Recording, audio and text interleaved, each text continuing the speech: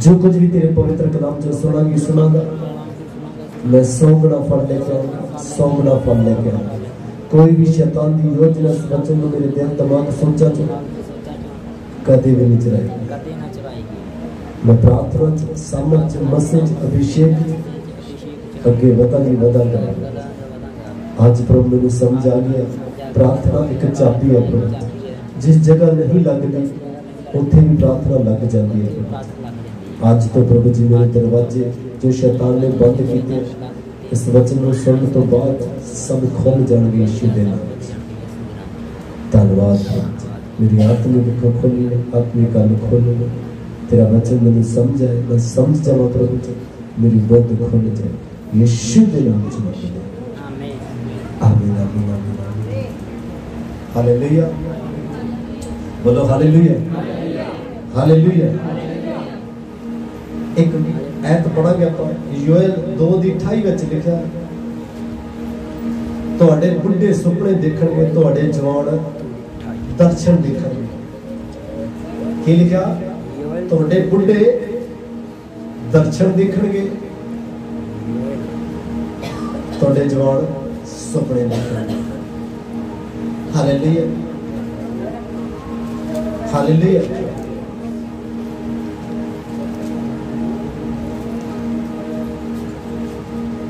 ਦਰਸ਼ਨ ਰੱਖ ਕੇ ਪ੍ਰਾਰਥਨਾ ਕਰਨੀ ਬਹੁਤ ਵੱਡੇ ਛੁਟਕਾਰੇ ਆ। ਦਰਸ਼ਨ ਦਾ ਮਤਲਬ ਪਤਾ ਕੀ ਹੈ ਹੁਣ ਤੁਹਾਡੇ ਮਾਈਂਡ 'ਚ, ਤੁਹਾਡੇ ਦਿਮਾਗ 'ਚ, ਤੁਹਾਡੇ ਦਿਲ 'ਚ, ਤੁਹਾਡੀਆਂ ਸੋਚਾਂ 'ਚ ਇੱਕ ਦਰਸ਼ਨ ਆ। ਕੀ ਦਰਸ਼ਨ ਆ?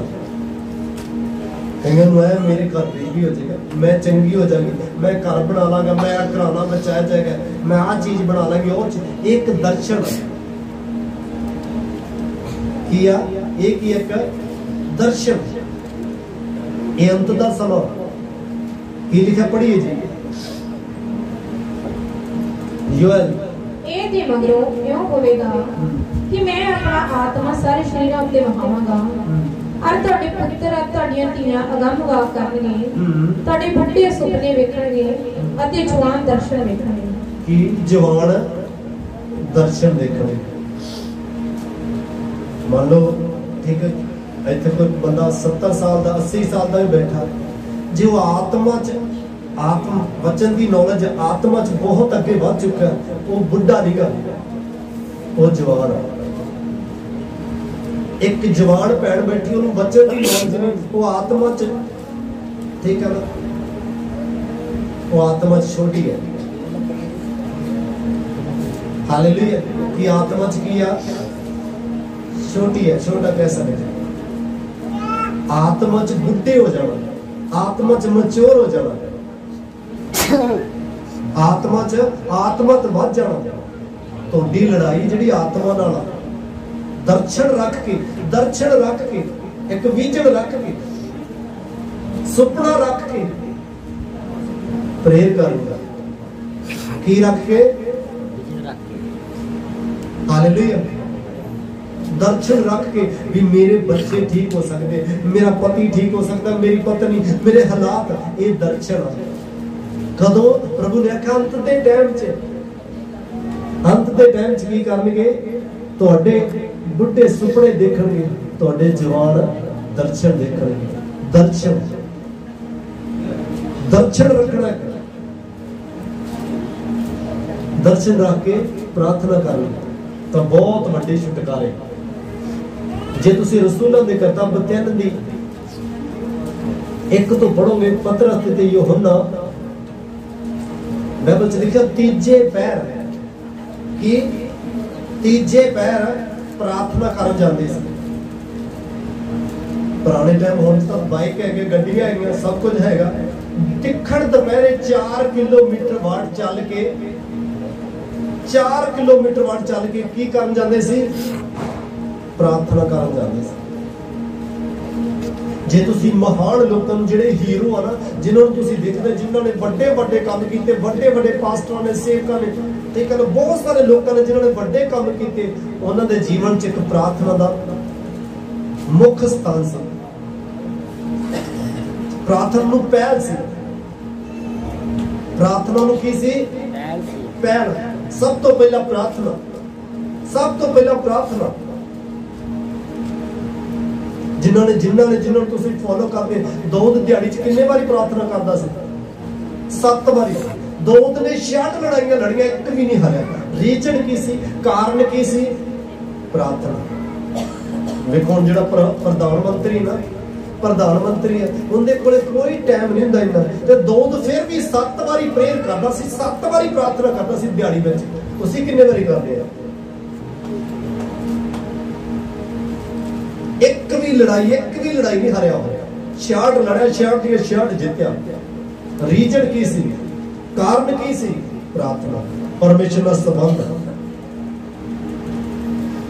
ਅੱਜ ਲੋਕ ਚਾਹੁੰਦੇ ਤਾਂ ਬਹੁਤ ਆ, ਦਿਲ 'ਚ ਖਵਾਇਸ਼ਾਂ ਤਾਂ ਬਹੁਤ ਆ। ਮੈਂ ਇਸ ਤੱਕ ਕਰ ਲਾਂਗੀ, ਮੈਂ ਇਸ ਤੱਕ ਕਰ ਲਾਂਗਾ। ਪ੍ਰਾਰਥਨਾ। ਜ਼ੀਰੋ। ਪ੍ਰਾਰਥਨਾ ਕੀ? ਜ਼ੀਰੋ। ਬਣਨਾ ਕੀ ਆ? ਹੀਰੋ। ਪ੍ਰਾਰਥਨਾ ਜ਼ੀਰੋ, ਬਣਨਾ ਕੀ ਆ? ਕਿ ਕਿਹੜੇ ਕਿਹੜੇ ਹੀਰੋ ਵਰਗਾ? ਦਾਊਦ ਹੀਰੋ ਵਰਗਾ, ਯੂਸਫ ਹੀਰੋ ਵਰਗਾ, ਦਾਨੀਅਲ ਹੀਰੋ ਵਰਗਾ। ਹਾਲੇਲੂਇਆ ਦੇਖੋ, ਹੁਣ ਪ੍ਰਾਰਥਨਾ ਚ ਤੁਹਾਨੂੰ ਵਧਣਾ ਪੈਣਾ। ਕੀ ਇੱਕ ਦਰਸ਼ਨ, ਇੱਕ ਵਿਜ਼ਨ ਰੱਖ ਇੱਕ ਟਾਰਗੇਟ ਹਾਲੇਲੂਇਆ ਕੀ ਤੀਜੇ ਬਹਿਰ ਕੀ ਕਰਨ ਚੱਲੇ ਸੀ? ਪ੍ਰਾਰਥਨਾ ਕਰਨ ਚੱਲੇ ਸੀ। ਰਸੂਲਾਂ ਦੇ ਕਰਤਾ ਬਤਨ ਦੀ ਇੱਕ ਤੋਂ ਜਦੋਂ ਪੜ੍ਹਦੇ ਨਾ ਆਪਾਂ, ਤੀਜੇ ਤੀਜੇ ਪਹਿਰੋਂ ਕੀ ਕਰਨ ਚੱਲੇ ਸੀ? ਪ੍ਰਾਰਥਨਾ ਕਰਨ ਚੱਲੇ ਸੀ। ਕਿੱਥੇ? 4 ਕਿਲੋਮੀਟਰ ਵਾਰ ਦੂਰ। ਘਰੇ ਨਹੀਂ ਪ੍ਰਾਰਥਨਾ ਕਰ ਸਕਦੇ ਸੀ, ਕਰ ਸਕਦੇ ਸੀ। ਪਰ ਮਹੱਤਵ, ਅੱਜ ਬਹੁਤ ਸਾਰੇ ਲੋਕ ਯਿਸੂ ਮਸੀਹ ਨੇ ਇੱਕ ਗੱਲ ਆਖੀ, ਕਹਿੰਦਾ ਅੰਤ ਦੇ ਟਾਈਮ 'ਚ ਬਹੁਤ ਲੋਕਾਂ ਦੀ ਪ੍ਰੀਤ ਠੰਡੀ ਪੈ ਜਾਏਗੀ। ਉਹ ਯਾਰ ਆਨਲਾਈਨ ਹੀ ਦੇਖ ਲਓ। ਉਹ ਮੈਂ ਮੈਂ ਤਾਂ ਉਹ ਬਚਨ ਐ ਸੁਣ ਲੈਣੀ ਨਹੀਂ ਸੁਣ ਲੈਣਾ ਹੁੰਦਾ ਪ੍ਰਾਰਥਨਾ ਮੈਂ ਆਨਲਾਈਨ ਹੀ ਕਰ ਲੈਣਾ ਹੁੰਦਾ। ਆਨਲਾਈਨ ਪ੍ਰਾਰਥਨਾ ਕਿਹੜੀ ਆ? ਤੇ ਨਹੀਂ ਘਰੇ ਬੈਠ ਕੇ ਨਹੀਂ ਕਰ ਸਕਦੇ ਸੀ। ਘਰੇ ਬੈਠ ਕੇ ਨਹੀਂ ਕਰ ਸਕਦੇ ਕਰ ਸਕਦੇ ਸੀ। ਘਰੋਂ ਚੱਲੇ, ਪੈਦਲ ਤੁਰ ਕੇ ਗਏ ਤਿੱਖੜ ਦੁਪਹਿਰਾ। ਘਰੇ ਨਹੀਂ ਕਰ ਸਕਦੇ, ਪਰ ਚਰਚ 'ਚ ਗਏ ਪ੍ਰੇਅਰ ਕਰਨ ਤੇ ਰਾਜ ਉਹਨਾਂ ਨੂੰ ਇੱਕ ਬੰਦਾ ਮਿਲਿਆ ਜਿਹੜਾ ਜਮੰਦਰੂ ਲੰਗੜਾ ਸੀ ਜਮੰਦਰੂ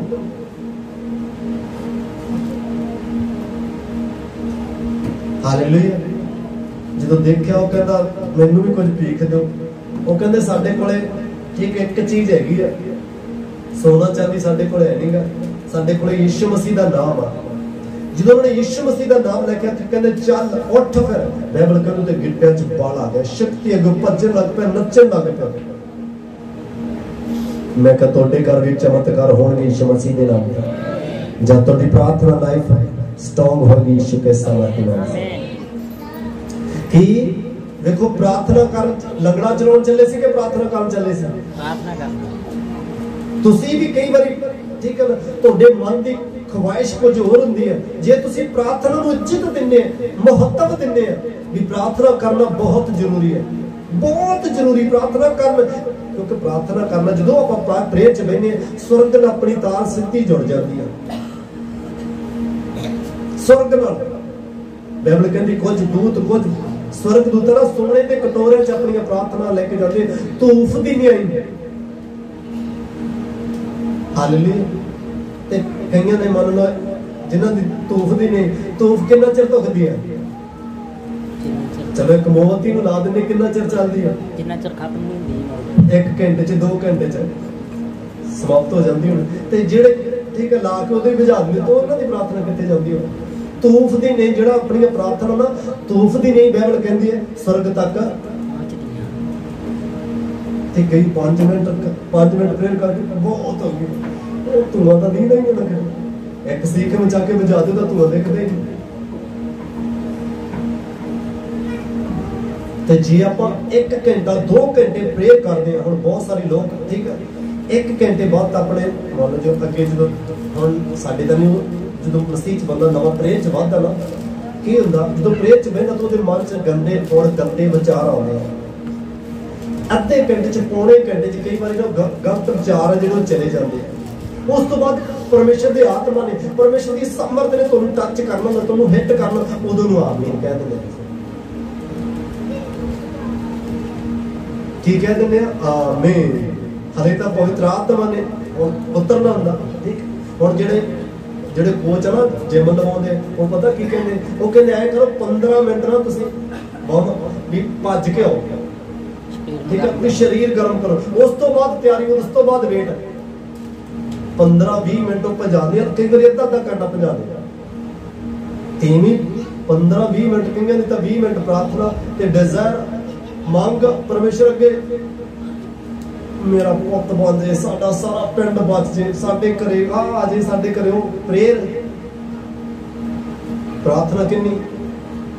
5 ਮਿੰਟ ਮੈਂ ਤੁਹਾਨੂੰ ਬਹੁਤ ਵਾਰੀ ਇੱਕ ਗਵਾਹੀ ਦੱਸੀ, ਇੱਕ ਮਸੀਹ ਭੈਣ ਸੀ, ਫਿਰ ਤੋਂ ਅੱਜ ਦੱਸਦਾ ਮੈਂ, ਇੱਕ ਮਸੀਹ ਭੈਣ ਸੀ, ਉਹਦੇ ਪਹਿਲਾ ਬੱਚਾ ਪੈਦਾ ਹੋਇਆ ਪੋਲੀਓ ਦਾ ਮਾਰਿਆ। ਪੋਲੀਓ ਦਾ ਮਾਰਿਆ, ਨਹੀਂ ਕਹਿ ਸਕਦੇ, ਉਹਦੇ ਅੰਗ ਪੈਰ ਨਹੀਂ ਚੱਲਦੇ ਸੀ। ਉਹਨੇ ਆਖਿਆ ਚੱਲ ਵੈਸੇ ਹੀ ਹੋ ਗਿਆ। ਇੱਕ ਹੋਰ ਬੱਚਾ ਪੈਦਾ ਹੋਇਆ। ਉਹ ਵੀ ਉਵੇਂ ਦਾ ਆ ਗਿਆ। ਇੱਕ ਹੋਰ ਬੱਚਾ ਪੈਦਾ ਹੋਇਆ। ਉਹ ਵੀ ਕਹਿੰਦੀ, ਮੇਰੇ ਨਾਲ ਹੋ ਕੀ ਰਿਹਾ? ਮੈਂ ਮਸੀਹ ਹੋਣ ਦੇ ਬਾਵਜੂਦ ਵੀ। ਇੱਕ ਜੀਵਤ ਚਰਚ ਚ ਸਹੀ ਸੰਗਤੀ ਚ ਚਲੀ ਗਈ। ਦੱਸਿਆ ਗਿਆ ਵੀ ਪ੍ਰੇਅਰ ਕਿਵੇਂ ਕਰਨੀ ਹੈ। ਠੀਕ ਹੈ। ਦੱਸਿਆ ਗਿਆ ਕਿਵੇਂ ਕਰਨੀ ਹੈ। ਪ੍ਰੇਅਰ ਕਰਨੀ ਸਟਾਰਟ ਕੀਤੀ। ਪ੍ਰੇਅਰ ਕਰਨੀ ਜਦੋਂ ਦੇ 5 ਘੰਟੇ 5 ਘੰਟੇ 6 ਘੰਟੇ ਪ੍ਰੇਅਰ ਹੋ ਗਈ ਨਾ ਜਦੋਂ ਇਸ ਲੈਵਲ ਤੇ ਉਹਦੀ ਪ੍ਰਾਰਥਨਾ ਪਹੁੰਚ ਗਈ, ਇੱਕੇ ਦਿਨ ਹੀ, ਇੱਕੇ ਦਿਨ ਤਿੰਨੇ ਬੱਚੇ ਚੱਲੇ। ਸਹੀ ਚਾਬੀ ਲੱਗ ਗਿਆ। ਸਹੀ ਚਾਬੀ? ਪ੍ਰਭੂ ਨੂੰ ਤਾੜੀ ਮਾਰ ਸਕਦੇ ਇੱਕੇ ਦਿਨ ਇੱਕੇ ਦਿਨ ਇੱਕ ਤੁਹਾਨੂੰ ਲੜਕੀ ਦੀ ਗਵਾਹੀ ਸੁਣਾਈ ਸੀ। ਆਪਦੀ ਪੋਤੀਆਂ ਨੂੰ, ਤਿੰਨ ਪੋਤੀਆਂ ਸੀ ਉਹਦੇ। ਕਿੰਨੀਆਂ ਸੀ? ਤਿੰਨ। ਪੋਤੀਆਂ ਤੇ ਬਹੁਤ ਲਵ ਕਰਦੀ ਸੀ ਕਹਿੰਦੀ, ਮੇਰੀਆਂ ਪੋਤੀਆਂ ਮੇਰੇ ਤੋਂ ਅਲੱਗ ਨਾ ਹੋਣ। ਮੈਰਿਜ ਹੋ ਗਈ ਤਿੰਨਾਂ ਦੀ। ਠੀਕ ਹੈ। ਦਾਦੀ ਨੇ ਇਹ ਜਾਂ ਕੁਛ ਕੀਤਾ, ਕਰਾਇਆ। ਤਿੰਨਾਂ ਪ੍ਰਾਹੁਣੇ ਨੇ, ਤਿੰਨਾਂ ਕੁੜੀਆਂ ਦੇ ਨਾਮ ਲਿਖ ਕੇ। ਠੀਕ ਹੈ, ਜਾਦੂ ਟੋਣਾ ਕਰਾ ਕੇ ਘਰੇ ਰੱਖ ਦਿੱਤਾ। ਡਿਵੋਰਸ ਹੋਣ ਤੇ ਤਿੰਨਾਂ ਦਾ ਹੀ ਕੰਮ ਡਿਵੋਰਸ ਹੋਣ ਤੇ ਆ ਗਿਆ। ਇੱਕ ਭੈਣ ਉਹਨਾਂ ਚੋਂ, ਚਰਚ ਜਾਣ ਲੱਗ ਪਈ। ਦੱਸਿਆ, ਪ੍ਰਾਰਥਨਾ ਕਿਵੇਂ ਕਰਨੀ, ਕਿਵੇਂ ਕਰਨਾ, ਕਿਵੇਂ ਵਧਣਾ? ਉਹਨੇ ਵੀ ਭੈਣ ਨੇ ਜਦੋਂ 5-6 ਘੰਟੇ ਦੇ ਪ੍ਰੇਅਰ ਜਾਵੜੀ ਨਾ, ਜਦੋਂ ਪ੍ਰੇਅਰ ਕਰੇ ਕਰੇ, ਦਾਦੀ ਆਖੇ ਕਰੇ, ਤੂੰ ਮਾਰੇਗੀ ਕਿਸੇ ਨੂੰ। ਕਹਿੰਦੀ, ਦਾਦੀ ਜੀ, ਮੈਂ ਪ੍ਰੇਅਰ ਕਰਦੀ ਆ। ਡੇਲੀ ਦਾਦੀ ਆਖੇ ਕਰੇ, ਕਹਿੰਦੀ ਮਾਰੇਗੀ ਕਿਸੇ ਨੂੰ। ਕਿਉਂਕਿ ਦੁਸ਼ਟ ਆਤਮਾ ਉਹਨੂੰ ਤੰਗ ਕਰਦੀ ਸੀ। ਜਿਹੜਾ ਜਾਦੂ ਟੋਨਾ ਕਰਾ ਕੇ ਲਈ ਜਦੋਂ ਇਹ ਪ੍ਰੇਅਰ ਕਰਦੀ, ਤਾਂ ਦੁਸ਼ਟ ਆਤਮਾ ਤੇ ਅਟੈਕ ਕਰਦੀ ਸੀ। ਹਾਲੇਲੂਇਆ ਜਦੋਂ 5-6 ਘੰਟੇ ਤੇ ਪ੍ਰੇਅਰ ਹੋ ਗਈ, ਦਾਦੀ ਨੂੰ ਅਟੈਕ ਹੋ ਗਿਆ, ਦਾਦੀ ਚਲੀ ਗਈ। ਦਾਦੀ ਦਾ ਸਮਾਨ ਚੱਕ ਕੇ ਘਰੋਂ ਸਿੱਟਣ ਲੱਗੇ। ਠੀਕ ਹੈ। ਸਾਰਾ ਕੁਝ ਕਹਿੰਦੇ ਦਾਦੀ ਦਾ ਜੋ ਕੁਝ ਸੀ ਸਾੜ ਦੇ ਦੇਖਿਆ। ਤਿੰਨਾਂ ਲੜਕਿਆਂ ਦੇ ਨਾਮ ਤਿੰਨਾਂ ਲੜਕੀਆਂ ਦੇ ਨਾਮ ਇੱਕ ਖੂਨ ਚ ਵਲੇਟ ਕੇ ਇੱਕ ਕਮਰੇ ਦੇ ਵਿੱਚ ਸੀ, ਇੱਕ ਚੀਜ਼ ਦੇ ਵਿੱਚ ਸਾਰੇ ਸਭ ਕੁਝ ਉਹ ਸਿੱਟਿਆ। ਅਗਲੇ ਦਿਨ ਹੀ ਪ੍ਰਾਹੁਣੇ ਆਏ ਤੇ ਲੈ ਗਏ। ਕਦੋਂ ਆਇਆ? ਜਦੋਂ 5 ਘੰਟੇ ਦੀ ਪ੍ਰੇਅਰ ਕਈ ਵਾਰੀ ਤੁਹਾਡੇ ਆਪਣੇ, ਤੁਹਾਡੇ ਘਰ ਦੇ, ਤੁਹਾਡੇ ਰਿਸ਼ਤੇਦਾਰੀ ਤੁਹਾਡੇ ਤੇ ਜਾਦੂ ਟੋਣਾ ਕੀਤਾ ਹੁੰਦਾ ਤੇ ਕਿਹੜੀ ਚੀਜ਼ ਲੱਗ ਸਕਦੀ? ਚਾਬੀ ਲੱਗ ਸਕਦੀ ਉਹਨੂੰ। ਕਿਹੜੀ ਪ੍ਰਾਰਥਨਾ ਦੀ? ਕਿੰਨੀ ਪ੍ਰਾਰਥਨਾ? 5-6 ਘੰਟੇ। ਹਾਲੇਲੂਇਆ ਹਾਲੇਲੂਇਆ ਕੀ ਕਰਨ ਚੱਲੇ ਸੀ ਪਤਰਸ ਤੇ? ਉਹ ਲੰਗੜਾ ਚਲਾਉਣ ਥੋੜਾ ਚੱਲੇ ਸੀ। ਪ੍ਰਾਰਥਨਾ। ਪ੍ਰਾਰਥਨਾ। ਕੀ ਕਰਨ ਚੱਲੇ ਸੀ? ਪ੍ਰਾਰਥਨਾ ਜੇ ਤੁਸੀਂ ਪੜੋ ਲੂਕਾ 2 ਦੀ 37 ਵਿੱਚ ਲਿਖਿਆ ਇੱਕ ਭੈਣ 84 ਵਰਿਆਂ ਤੋਂ ਵਿਧਵਾ ਸੀ। ਕਿੰਨੀ? 84 ਵਰਿਆਂ ਤੋਂ ਵਿਧਵਾ ਸੀ। ਕੀ ਕਰਦੀ ਸੀ ਉਹ? ਦਿਨ ਰਾਤ ਬਾਈਬਲ ਕਹਿੰਦੀ ਬੰਦਗੀ ਕਰਦੀ ਸੀ ਪ੍ਰਾਰਥਨਾ ਕਰਦੀ ਸੀ। ਦਿਨ ਰਾਤ ਪ੍ਰਾਰਥਨਾ ਕਰਦੀ ਸੀ। ਦਿਨ ਰਾਤ ਉਹ ਪ੍ਰਾਰਥਨਾ ਕਰਦੀ ਸੀ ਤੇ ਨਾਲ ਵਰਤ ਰੱਖਦੀ ਸੀ। ਯਾਰ ਹੁਣ ਜਿਹੜੀ ਭੈਣ ਵਿਧਵਾ, ਉਹਨੂੰ ਇੰਨੀ ਪ੍ਰੇਅਰ ਕਰਨ ਦੀ ਕੀ ਲੋੜ ਆ? ਇੰਨੀ ਪ੍ਰਾਰਥਨਾ ਕਰਨ ਦੀ ਕੀ ਲੋੜ ਆ? ਤੁਹਾਡੇ ਜੀਵਨ 'ਚ ਇੱਕ ਪਰਮੇਸ਼ਰ ਦੀ ਯੋਜਨਾ ਪ੍ਰਾਰਥਨਾ ਕਰਨਾ, ਪ੍ਰਾਰਥਨਾ ਕਰਵਾਉਣ ਦੀ, ਕਰਨ ਦੀ ਪਰਮੇਸ਼ਰ ਦੀ ਇੱਕ ਯੋਜਨਾ ਇੱਕ। ਕੀ ਆ? ਯੋਜਨਾ। ਵੀ ਤੁਹਾਡੀ ਪ੍ਰਾਰਥਨਾ ਦੁਆਰਾ ਤੁਹਾਡੀ ਪ੍ਰਾ- ਵੀ ਗਵਾਂਢੀ ਨੂੰ ਰਿਸ਼ਤੇਦਾਰ ਨੂੰ ਪਤਾ ਨਹੀਂ ਕਿਹਨੂੰ ਕਿਹਨੂੰ ਬਚਾਉਣਾ। ਕਿਉਂਕਿ ਬਾਈਬਲ ਕਹਿੰਦੀ, ਤੁਸੀਂ ਨਹੀਂ ਜਾਣਦੇ ਵੀ ਕਿਸ ਵਿਸ਼ੇ 'ਚ ਪ੍ਰਾਰਥਨਾ ਕਰਨੀ। ਕਈ ਵਾਰੀ ਤੁਸੀਂ ਜਦੋਂ ਪ੍ਰਾਰਥਨਾ ਕਰਦੇ, ਕਈਆਂ ਭੈਣਾਂ ਨੂੰ ਰੋਣ ਆਉਂਦਾ ਜਾਂ ਕਈਆਂ ਭਾਈਆਂ ਨੂੰ ਵੀ ਰੋਣ ਆਉਂਦਾ। ਉਹਨੂੰ ਐਂ ਲੱਗਦਾ ਮੈਨੂੰ ਪਤਾ ਨਹੀਂ। ਪਰ ਪਵਿੱਤਰ ਆਤਮਾ ਉਹ ਸ਼ਬਦ ਦਿੰਦਾ ਤੁਹਾਨੂੰ ਇਸ ਭੈਣ ਤੋਂ ਦੇਖੋ 25 ਸਾਲ ਦੀ ਉਮਰ 'ਚ ਹੋਈ, ਠੀਕ ਹੈ? 25 84 ਸਾਲਾਂ ਤੋਂ ਵਿਧਵਾ ਸੀ, ਉਸ ਤੋਂ ਬਾਅਦ ਇਹਨੇ ਕੀ ਕੀਤਾ? ਇੱਕ ਪਾਸਟਰ ਸੀ। ਪਾਸਟਰ ਕਿਸ ਲਈ ਪ੍ਰੇਰ ਕਰ ਰਹੀ ਸੀ? ਯਾਰ ਪਤੀ ਵੀ ਅੜੀ ਬੱਚੀ ਵੀ ਅੜੀ ਪ੍ਰਾਰਥਨਾ ਕਾਦੇ ਵਾਸਤੇ ਕਰ ਰਹੀ ਹੈ? ਹੁਣ ਤੁਸੀਂ ਵੀ ਪ੍ਰਾਰਥਨਾ ਇਹ ਕਾਦੇ ਵਾਸਤੇ ਕਰ ਰਹੇ ਸੀ? ਯੀਸ਼ੂ ਮਸੀਹ ਨੂੰ ਲਿਆਉਣ ਵਾਸਤੇ। ਯੀਸ਼ੂ ਮਸੀਹ ਨੂੰ ਧਰਤੀ ਤੇ ਲਿਆਉਣ ਵਾਸਤੇ। ਸਿਮੋਨ ਨਾਮ ਦਾ ਬੰਦਾ ਸੀ, ਕਹਿੰਦਾ ਜਦ ਤੱਕ ਤੂੰ ਮਸੀਹ ਨੂੰ ਨਾ ਦੇਖੇਂਗਾ ਨਾ, ਉਹ ਵੀ ਪ੍ਰੇਅਰ ਕਰਦਾ ਸੀ, ਇਹ ਵੀ ਪ੍ਰੇਅਰ ਕਰਦੀ ਸੀ। ਯੀਸ਼ੂ ਮਸੀਹ ਨੂੰ ਧਰਤੀ ਤੇ ਲਿਆਉਣ ਵਾਸਤੇ, ਜਨਮ ਦਿਵਾਉਣ ਵਾਸਤੇ स्वर्ग तो कुछ भी चाहिए ना, तेन कुछ भी चाहिए प्रार्थना लेके आ सकती है। एक गीत स्तुति प्रार्थना ऊपर जाती है, आशीष लेके नीचे आती है। ਕਿ ਪ੍ਰਾਰਥਨਾ ਕੀ? ਇਹ 84 ਸਾਲਾਂ ਤੋਂ ਹੁਣ ਕਈ ਭੈਣਾਂ ਕਹਿੰਦੀਆਂ ਮੈਂ ਤੋਂ ਵਰਤ ਨਹੀਂ ਰੱਖਿਆ ਇਹ ਭੈਣ ਕੀ ਕਰਦੀ ਸੀ? ਵਰਤ ਵੀ ਰੱਖਦੀ ਸੀ, ਬੰਦਗੀ ਵੀ ਕਰਦੀ ਸੀ, ਪ੍ਰਾਰਥਨਾ ਵੀ ਕਰ ਕਿਸ ਲਈ ਕਰਦੀ ਸੀ? ਵੀ ਪ੍ਰਭੂ, ਤੂੰ ਆਖਿਆ ਮੈਂ ਤੈਨੂੰ ਮੁਕਤੀ ਦਾਤਾ ਦੇਵਾਂਗਾ, ਛੁਟਕਾਰਾ ਦੇਣ ਵਾਲਾ। ਸਿਮੋਨ ਵੀ ਇਹ ਪ੍ਰਾਰਥਨਾ ਕਰਦਾ ਹੈ। ਪ੍ਰਭੂ ਨੇ ਆਖਿਆ, ਤੂੰ ਮਰੇਗਾ ਨਹੀਂ। ਪ੍ਰਭੂ ਨੇ ਉਹਦੀ ਲਿਮਟ ਰੱਖਤੀ। ਪਤਾ ਨਹੀਂ ਕਿੰਨੇ ਸਾਲ ਜਿਉਂਦਾ ਰਿਹਾ। 500 ਪਤਾ ਹੀ ਨਹੀਂ, ਲਿਮਟ ਹੀ ਨਹੀਂ ਸੀ ਉਹਦੀ। ਕਹਿੰਦਾ, ਤੂੰ ਮਰੇਗਾ ਨਹੀਂ ਉਦੋਂ ਤੱਕ। ਉਹਨਾਂ ਤੋਂ ਕਿੰਨੀ ਪ੍ਰਾਰਥਨਾ ਕਰਵਾਈ। ਜਿਆਦੇ ਪ੍ਰਾਰਥਨਾ ਕਰੇ ਜਿਆਦੇ ਵੱਡੇ ਛੁਟਕਾਰੇ ਲਈ ਵੱਡੇ ਬਰਕਤ ਲਈ ਵੱਡੇ ਛੁਟਕਾਰੇ ਪੂਰੇ ਸੰਸਾਰ ਦੇ ਛੁਟਕਾਰੇ ਲਈ ਕਿਸੇ ਨੇ ਪ੍ਰੇਰ ਕੀਤੀ ਕਿਹਨੇ ਸਿਮੋਨ ਨੇ 84 ਸਾਲਾਂ ਤੱਕ ਵਿਧਵਾ ਸੀ ਉਹਨੇ ਨਾਲ ਵਰਤ ਵੀ ਰੱਖਦੀ ਸੀ ਕਈ ਕੱਲੀ ਪ੍ਰਾਰਥਨਾ ਕਰਦੇ ਨਾਲ ਵਰਤ ਵੀ ਰੱਖਣਾ ਪ੍ਰਾਰਥਨਾ ਵੀ ਕਰਨਾ ਤੇ ਯੀਸ਼ੂ ਮਸੀਹ ਧਰਤੀ ਤੇ ਆਇਆ ਤੁਹਾਨੂੰ ਤੁਹਾਨੂੰ ਵੀ ਪਤਾ ਕੀ ਪ੍ਰਾਰਥਨਾ ਤੁਹਾਡੀ ਵੀ ਡਿਊਟੀ ਆ ਪ੍ਰਾਰਥਨਾ ਕਰਨੀ ਕੀ ਵੀ ਪ੍ਰਭੂ ਯਿਸੂ ਮਸੀਹ ਆ ਤੇਰਾ ਰਾਜ ਹੈ ਹੁਣ ਦੇਖੋ ਤੁਸੀਂ ਲੋਕਾਂ ਦੀ ਕਿਤਾਬ 'ਚ ਠੀਕ ਹੈ 11 'ਚ ਪੜੋ ਨਾ ਉੱਥੇ ਕਹਿੰਦਾ ਚੇਲੇ ਕਹਿੰਦੇ ਪ੍ਰਭੂ ਜੀ ਸਾਨੂੰ ਪ੍ਰਾਰਥਨਾ ਕਰਨੀ ਸਿਖਾਓ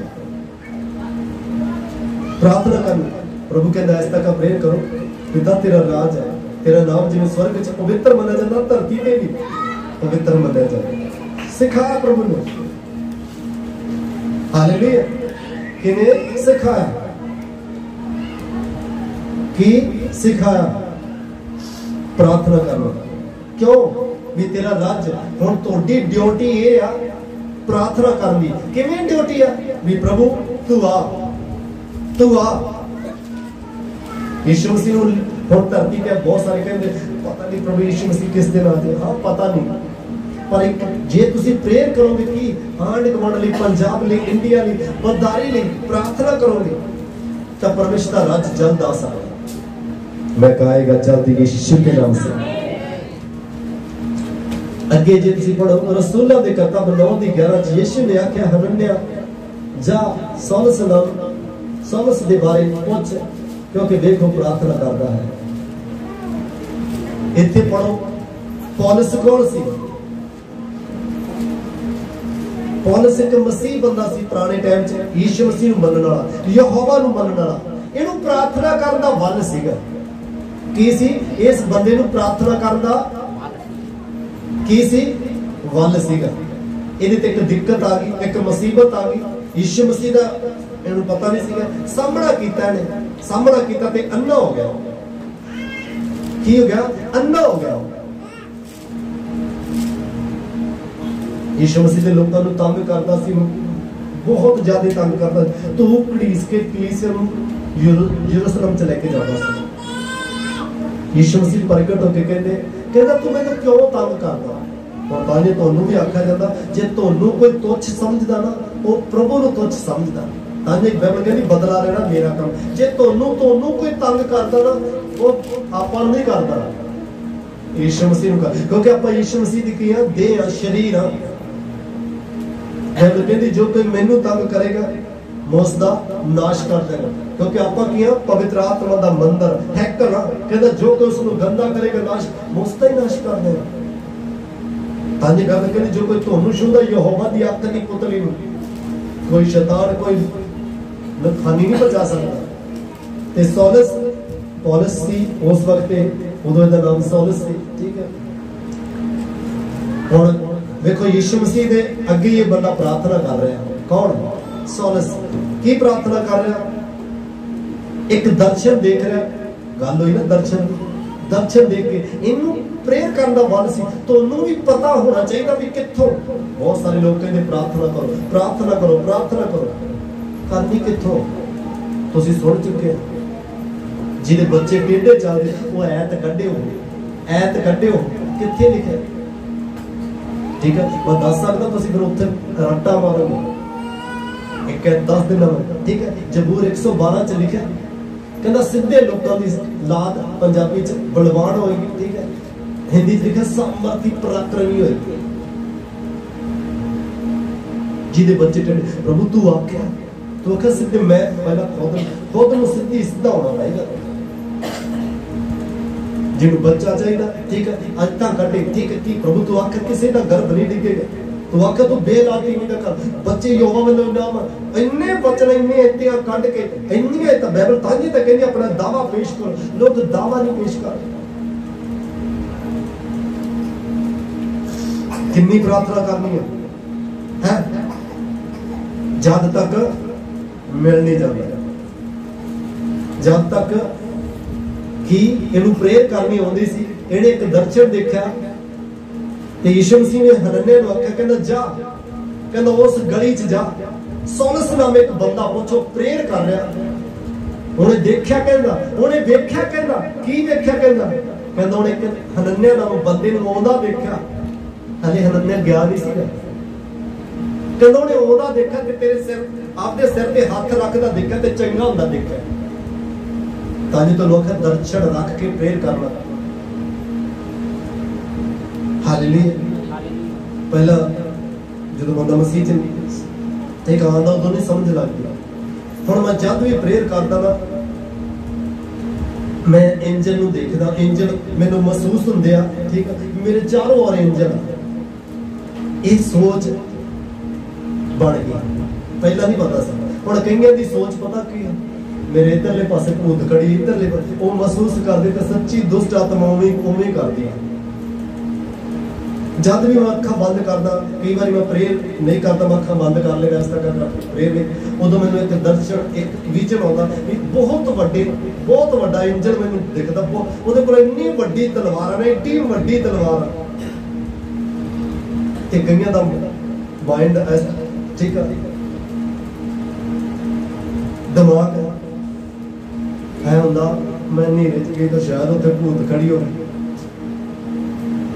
ਤਾਂ ਕੀ ਕਰਦਾ ਸ਼ੈਤਾਨ ਉਹ ਚੀਜ਼ ਮਨ ਚ ਪਾਉਂਦਾ? ਇਸ ਤੱਕ ਨਹੀਂ, ਕਦੇ ਐ ਸੋਚਿਆ ਵੀ ਮੇਰੇ ਇੱਧਰ ਵੀ ਇੰਜਨ ਆ ਇੱਧਰ ਵੀ ਇੰਜਨ ਆ ਕਈ ਕਹਿੰਦੇ ਮੈਂ ਬੈੱਡ ਦੇ ਥੱਲੇ ਦੇਖਦੀ ਆ ਤਾਂ ਲੱਗਦਾ ਹਨੇਰਾ ਹੁੰਦਾ ਭੂਤ ਨਾ ਅੱਛਾ, ਬੈੱਡ ਦੇ ਥੱਲੇ ਕਦੇ ਐ ਸੋਚਿਆ ਵੀ ਇੰਜਨ ਹੋਣੇ ਬਾਈਬਲ ਕਹਿੰਦੀ ਤੇਰੇ ਚਾਰੋਂ ਔਰ ਇੰਜਨ ਹੋਣਗੇ ਕਹਿੰਦਾ ਯਹੋਵਾ ਦਾ ਦੂਤ ਜਿਹਨੇ ਤੋਂ ਡਰ ਪੈਰ ਰੱਖਦੇ ਉਹਨਾਂ ਦੇ ਚਾਰੇ ਪਾਸੇ ਦਿਵਾਲੇ ਡੇਰਾ ਲਾ ਕੇ ਰੱਖਦਾ। ਤੇ ਹਰ ਇੱਕ ਗੰਦਗੀ, ਹਰ ਇੱਕ ਪਾਪ ਤੋਂ ਹਰ ਇੱਕ ਦੁਸ਼ਟ ਆਤਮਾ ਨੂੰ ਛੁਟਕਾਰਾ ਕਰਦਾ ਕੀ ਕਰਦਾ ਸੀ ਇਹ? ਇਹਨੇ ਇੱਕ ਦਰਸ਼ਨ ਦੇਖਿਆ, ਇੱਕ ਵਿਜ਼ਨ ਦੇਖਿਆ। ਹਨਨਿਆ ਨਾਮ ਦਾ ਬੰਦਾ ਕਹਿੰਦਾ, ਮੇਰੇ ਤੇ ਹੁਣ ਕਈ ਵਾਰੀ, ਠੀਕ ਹੈ, ਜਦੋਂ ਤੁਸੀਂ ਪ੍ਰੇਅਰ ਕਰਦੇ ਇਹ ਦਰਸ਼ਨ ਦੇਖੋ ਵੀ ਅੱਜ ਮੈਂ ਦੇਖ ਰਹੀ ਹਾਂ, ਪਰਮੇਸ਼ਰ ਦੇ ਐਂਜਲ ਜਾਂ ਪਰਮੇਸ਼ਰ ਦੇ ਦੂਤ ਜਾਂ ਪਰਮੇਸ਼ਰ ਦਾ ਦਾਸ ਮੇਰੇ ਤੇ ਲੇਹਣ ਕਰ ਰਿਹਾ ਮੈਂ ਬਲੈਸ ਕਰ ਮੇਰੀ ਕੁੱਖ ਨੂੰ, ਮੇਰੇ ਪਰਿਵਾਰ ਨੂੰ, ਮੇਰੇ ਪਤੀ ਨੂੰ। ਦਰਸ਼ਨ ਰੱਖ ਕੇ ਇਹ ਵੀ ਇਸ ਬੰਦੇ ਨੇ ਦਰਸ਼ਨ ਦੇਖਿਆ। ਨਹੀਂ, ਇਹ ਸਾਰੀ ਉਮਰ ਅੰਨਾ ਰਹਿ ਸਕਦਾ ਸੀ। ਇਹਨੇ ਤਿੰਨਾਂ ਦਿਨਾਂ 'ਚ ਅੱਖਾਂ ਪਾ ਲਈਆਂ। ਜਦੋਂ ਬਿਲਕੁਲ ਬਿਲਕੁਲ ਬਿਲਕੁਲ ਅੰਨਾ ਹੋ ਗਿਆ ਸੀ।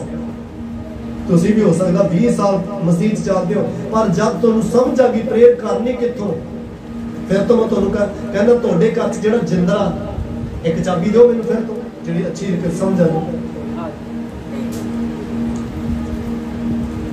ਆ ਚਾਬੀ ਤੁਹਾਡੇ ਜਿੰਦਰੇ ਨੂੰ ਲੱਗ ਜੇਗੀ ਹੈ ਦੱਸੀਏ ਲੱਗ ਜੇਗੀ ਨਹੀਂ ਲੱਗ ਸਕਦੀ ਤੁਹਾਨੂੰ ਚਾਬੀ ਯਿਸੂ ਮਸੀਹ ਨੇ ਫਿਰ ਤੋਂ ਮੈਂ ਤੁਹਾਨੂੰ ਦੱਸਣਾ ਯਿਸੂ ਮਸੀਹ ਨੇ ਆਖਿਆ ਕਹਿੰਦਾ ਜੋੜ ਔਰ ਪਤਾਲ ਦੀਆਂ ਚਾਬੀਆਂ ਮੇਰੇ ਕੋਲੇ ਆ। ਜਿਨ੍ਹਾਂ ਦੇ ਘਰ 'ਚ ਮੌਤ ਦੀ ਦੁਸ਼ਟ ਆਤਮਾ ਫੋਲੋ ਕਰਦੀ ਹੈ, ਉਹਨੂੰ ਕਿਹੜ ਕਿੱਥੇ ਚਾਬੀ ਲੱਗੂਗੀ ਉਹਦੀ ਹੈ ਬਹੁਤ ਸਾਰੇ ਕਹਿੰਦੇ ਪ੍ਰਾਰਥਨਾ ਕਰੋ ਪ੍ਰਾਰਥਨਾ ਕਰਨੀ ਕਿੱਥੋਂ ਆ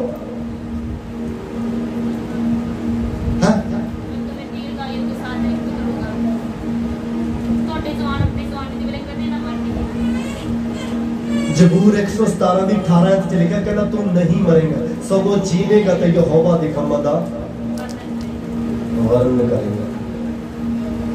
ਇਹ ਕੀ ਆ? ਇਹ ਚਾਬੀ ਫਿਰ ਜਿਹਨੂੰ ਉਹ ਉੱਥੇ ਹੀ ਲੱਗੇਗੀ ਇਵੇਂ ਤੁਹਾਡਾ, ਜਿੰਨੇ ਵੀ ਤੁਹਾਡੇ ਕੇਸ ਆ, ਕੋਈ ਵੀ ਕੇਸ ਆ, ਤੁਹਾਨੂੰ ਡਿਪਰੈਸ਼ਨ ਡਿਪਰੈਸ਼ਨ ਨੇ ਕਿੱਥੇ ਹੈ ਸੁਪਨੇ ਚ ਸ਼ੈਤਾਨ ਅਟੈਕ ਕਰਦਾ। ਕਿੱਥੇ ਤੁਹਾਡੇ ਲਈ? ਚਾਬੀ ਜਿੱਥੇ ਸਹੀ ਸਹੀ ਤਾਲਾ, ਪ੍ਰਾਰਥਨਾ ਕੀ ਇੱਕ? ਚਾਬੀ ਹੈ। ਹਾਲੇਲੂਇਆ ਕੀ ਕੀਤਾ ਉਹਨੇ? ਦਰਸ਼ਨ ਦੇਖਿਆ। ਯੀਸ਼ੂ ਮਸੀਹ ਨੂੰ ਹਨੰਦੇ ਨੇ ਕੁਝ ਕਹਿੰਦਾ, ਮੈਂ ਸੁਣਿਆ ਜੀ ਇਹਨੇ ਬਹੁਤ ਬੰਦਿਆਂ ਨੂੰ ਮਾਰਿਆ। ਕਹਿੰਦਾ, ਨਹੀਂ ਨਹੀਂ, ਤੂੰ ਜਾ, ਉਹਨੇ ਦਰਸ਼ਨ ਦੇਖਿਆ। ਕਹਿੰਦਾ, ਉਹ ਪ੍ਰਾਰਥਨਾ ਕਰ ਰਿਹਾ। ਕੀ ਕਹਿੰਦਾ? ਕਹਿੰਦਾ, ਜਾ। ਯੀਸ਼ੂ ਮਸੀਹ ਫੇਰ ਹੀ ਦੂਤ ਕਰਦਾ ਫੇਰ ਹੀ ਸਵਰਗ ਦੂਤ ਭੇਜਦਾ, ਜਿਸ ਤੱਕ ਕਰਨੇਲੀਅਨ ਵੇਖੋ ਹੁਣ ਪ੍ਰਾਰਥਨਾ ਕਰਦਾ ਰਿਹਾ। ਉਹ ਦਾਨ ਦਸਵੰਦ ਬਾਈਬਲ ਕਹਿੰਦੀ, ਉਹਦੀਆਂ ਪ੍ਰਾਰਥਨਾ ਸਵਰਗ 'ਚ ਤੇ ਦੂਤ ਕਰ ਲਿਆ ਸੇਮ ਹੀ ਦੂਤ ਹਨੰਨਿਆ ਨੂੰ ਕਰ ਲਿਆ ਕਹਿੰਦਾ ਜਾ ਉਹਦੇ ਸਿਰ ਤੇ ਹੱਥ ਰੱਖ ਤੇ ਉਹ ਸਜਾਖਾ ਹੋ ਜਾ ਕਿਉਂਕਿ ਉਹਨੇ ਦੇਖਿਆ, ਕਹਿੰਦਾ, ਦਰਸ਼ਨ ਰੱਖ ਕੇ ਫਿਰ ਮੈਂ ਕਹਿੰਦਾ, ਯੋਹਨ ਦੀ ਕਿਤਾਬ 'ਚ ਫਿਰ ਮੈਂ ਤੁਹਾਨੂੰ ਕਹਿੰਦਾ, ਬੁੱਢੇ ਸੁਪਨੇ ਦੇਖਣਗੇ। ਜਵਾਨ, ਦਰਸ਼ਨ ਰੱਖ ਕੇ, ਵਿਜਨ ਰੱਖ ਕੇ ਪ੍ਰੇਰ ਕਰਨੀ ਕਿੰਨੀ ਪ੍ਰੇਰ ਕਰਨੀ ਜਦ ਤੱਕ ਹੁੰਦਾ ਨਹੀਂ। ਜਦੋਂ ਉਹਨੇ ਹੱਥ ਰੱਖਿਆ, ਪੌਲਸ ਦੀਆਂ ਅੱਖਾਂ ਖੁੱਲ ਗਈਆਂ ਉਹਨੇ ਤਿੰਨ ਰਾਤਾਂ, ਤਿੰਨ ਦਿਨ ਕੁਝ ਖਾਦਾ ਪੀਤਾ ਨਹੀਂ ਨਾਲ ਵਰਤ ਵੀ ਰੱਖਿਆ। ਯਾਰ ਅੱਖਾਂ ਤਾਂ ਚਲੀਆਂ ਗਈਆਂ ਕੁਝ ਖਵਾਈ ਦਿਓ। ਪਰ ਉਹਨੇ ਵਰਤ ਰੱਖ ਕੇ ਪ੍ਰੇਤ ਤਿੰਨ ਦਿਨ, ਤਿੰਨ ਰਾਤਾਂ ਵਰਤ ਰੱਖ ਕੇ ਕੀ ਕੀਤੀ? ਪ੍ਰਾਰਥਨਾ ਕੀਤੀ। ਤੇ ਇੱਕ ਦਰਸ਼ਨ ਇੱਕ ਵਿਜਨ ਦੇਖਿਆ। ਸਜਾਖਾ ਹੋ ਗਿਆ ਤਿੰਨਾਂ ਦਿਨਾਂ ਚ ਸਾਰੀ ਉਮਰ ਬਿਮਾਰ ਰਹਿ ਸਕਦਾ ਸੀ, ਸਾਰੀ ਉਮਰ ਅੰਧਾ ਰਹਿ ਸਕਦਾ ਸੀ। ਪ੍ਰਾਰਥਨਾ ਕੀ ਆ? ਇੱਕ ਚਾਬੀ ਹੈ ਅੱਗੇ ਜੇ ਤੁਸੀਂ ਪੜੋ ਦੋ ਦਿਨ ਦਿਨ ਵਿੱਚ ਸੱਤ ਵਾਰੀ ਪ੍ਰਾਰਥਨਾ ਕਰਦਾ ਸੀ ਤੇ ਦਾਨੀਆ ਦਿਨ ਵਿੱਚ ਤਿੰਨ ਵਾਰੀ ਪ੍ਰਾਰਥਨਾ ਕਰਦਾ ਸੀ। ਦੋਵੇਂ ਉੱਚੀ ਪਦਵੀ ਦੇ ਬੰਦੇ ਸੀ, ਦੋਵੇਂ। ਜਿਨ੍ਹਾਂ ਕੋਲੇ ਟਾਈਮ ਨਹੀਂ ਹੁੰਦਾ। ਹੁਣ ਦੇਖੋ, ਇੰਡੀਆ ਇੰਡੀਆ ਕਿੱਡਾ ਉਹ ਪ੍ਰਧਾਨ ਮੰਤਰੀ ਕੋਲ ਵੇਖੋ, ਪੂਰੇ ਇੰਡੀਆ ਨੂੰ ਸੰਭਾਲਣਾ ਹੁੰਦਾ। ਤੇ ਟਾਈਮ ਨਹੀਂ ਹੁੰਦਾ। ਫਿਰ ਵੀ ਦੋ ਸੱਤ ਵਾਰੀ ਪ੍ਰੇਅਰ ਕਰਦਾ ਸੀ ਤੇ ਸਫਲ ਜਿੱਤਰ ਜਾਂਦਾ ਸੀ ਪਰਮੇਸ਼ਰ ਨੂੰ ਸਫਲ ਸਫਲ ਸਫਲ ਸਫਲ। ਅੱਜ ਵੀ ਲੋਕ ਸਫਲ ਹੋਣਾ ਚਾਹੁੰਦੇ ਆ। ਪਰ ਸਫਲ ਹੋ ਨਹੀਂ ਪਾ ਰਹੇ। ਰੀਜਨ ਕਾਲ ਪ੍ਰੇਅਰ ਲਾਈਫ ਹਾਲੇਲੂਇਆ ਮੈਂ ਫਿਰ ਤੋਂ ਕੋਲ ਸਵਾਲ ਪੁੱਛਣਾ ਚਾਹਣਾ ਸਿਰ ਦੁਖਦੇ ਦੀ ਗੋਲੀ ਨਾਲ ਕੈਂਸਰ ਹਟ ਸਕਦਾ? Double double dose double double dose ਦਿੰਦੇ ਡਾਕਟਰ ਤੇ ਤੁਹਾਨੂੰ ਵੀ ਡੋਜ਼ ਵਧਾਉਣੀ ਚਾਹੀਦੀ ਹੈ। ਮੈਂ ਕਹਾਂ, ਵਧੇ ਤੁਹਾਡੀ ਡੋਜ਼ ਯੀਸ਼ੂ ਮਸੀਹ ਦੇ ਸਾਮਰਥੀ ਨਾਮ ਮੈਂ ਕਹਾਂ, ਵਧੇ ਤੁਹਾਡੀ ਪ੍ਰਾਰਥਨਾ ਲਾਈਫ ਯੀਸ਼ੂ ਮਸੀਹ ਦੇ ਸਾਮਰਥੀ ਨਾਮ ਮੈਂ ਕਹਾਂ ਸ਼ੈਤਾਨ ਦੇ ਗੜਨ ਉਟਾਓਗੇ ਤੁਸੀਂ ਯੀਸ਼ੂ ਮਸੀਹ ਦੇ ਸਾਮਰਥੀ ਨਾਮ ਤੇ मैं को चाबी राइट सही लगेगी यीशु के नाम से लगेगी और दुष्ट आत्मा बचेगा यीशु के नाम से मैं को जो शैतान ने रास्ते बंद करते खुलेंगे यीशु मसीह के नाम ऐसे ही साल खुलेंगे यीशु के नाम से ऐसे ही साल में के बेबी ब्लेसिंग आएगी यीशु के नाम से आएगी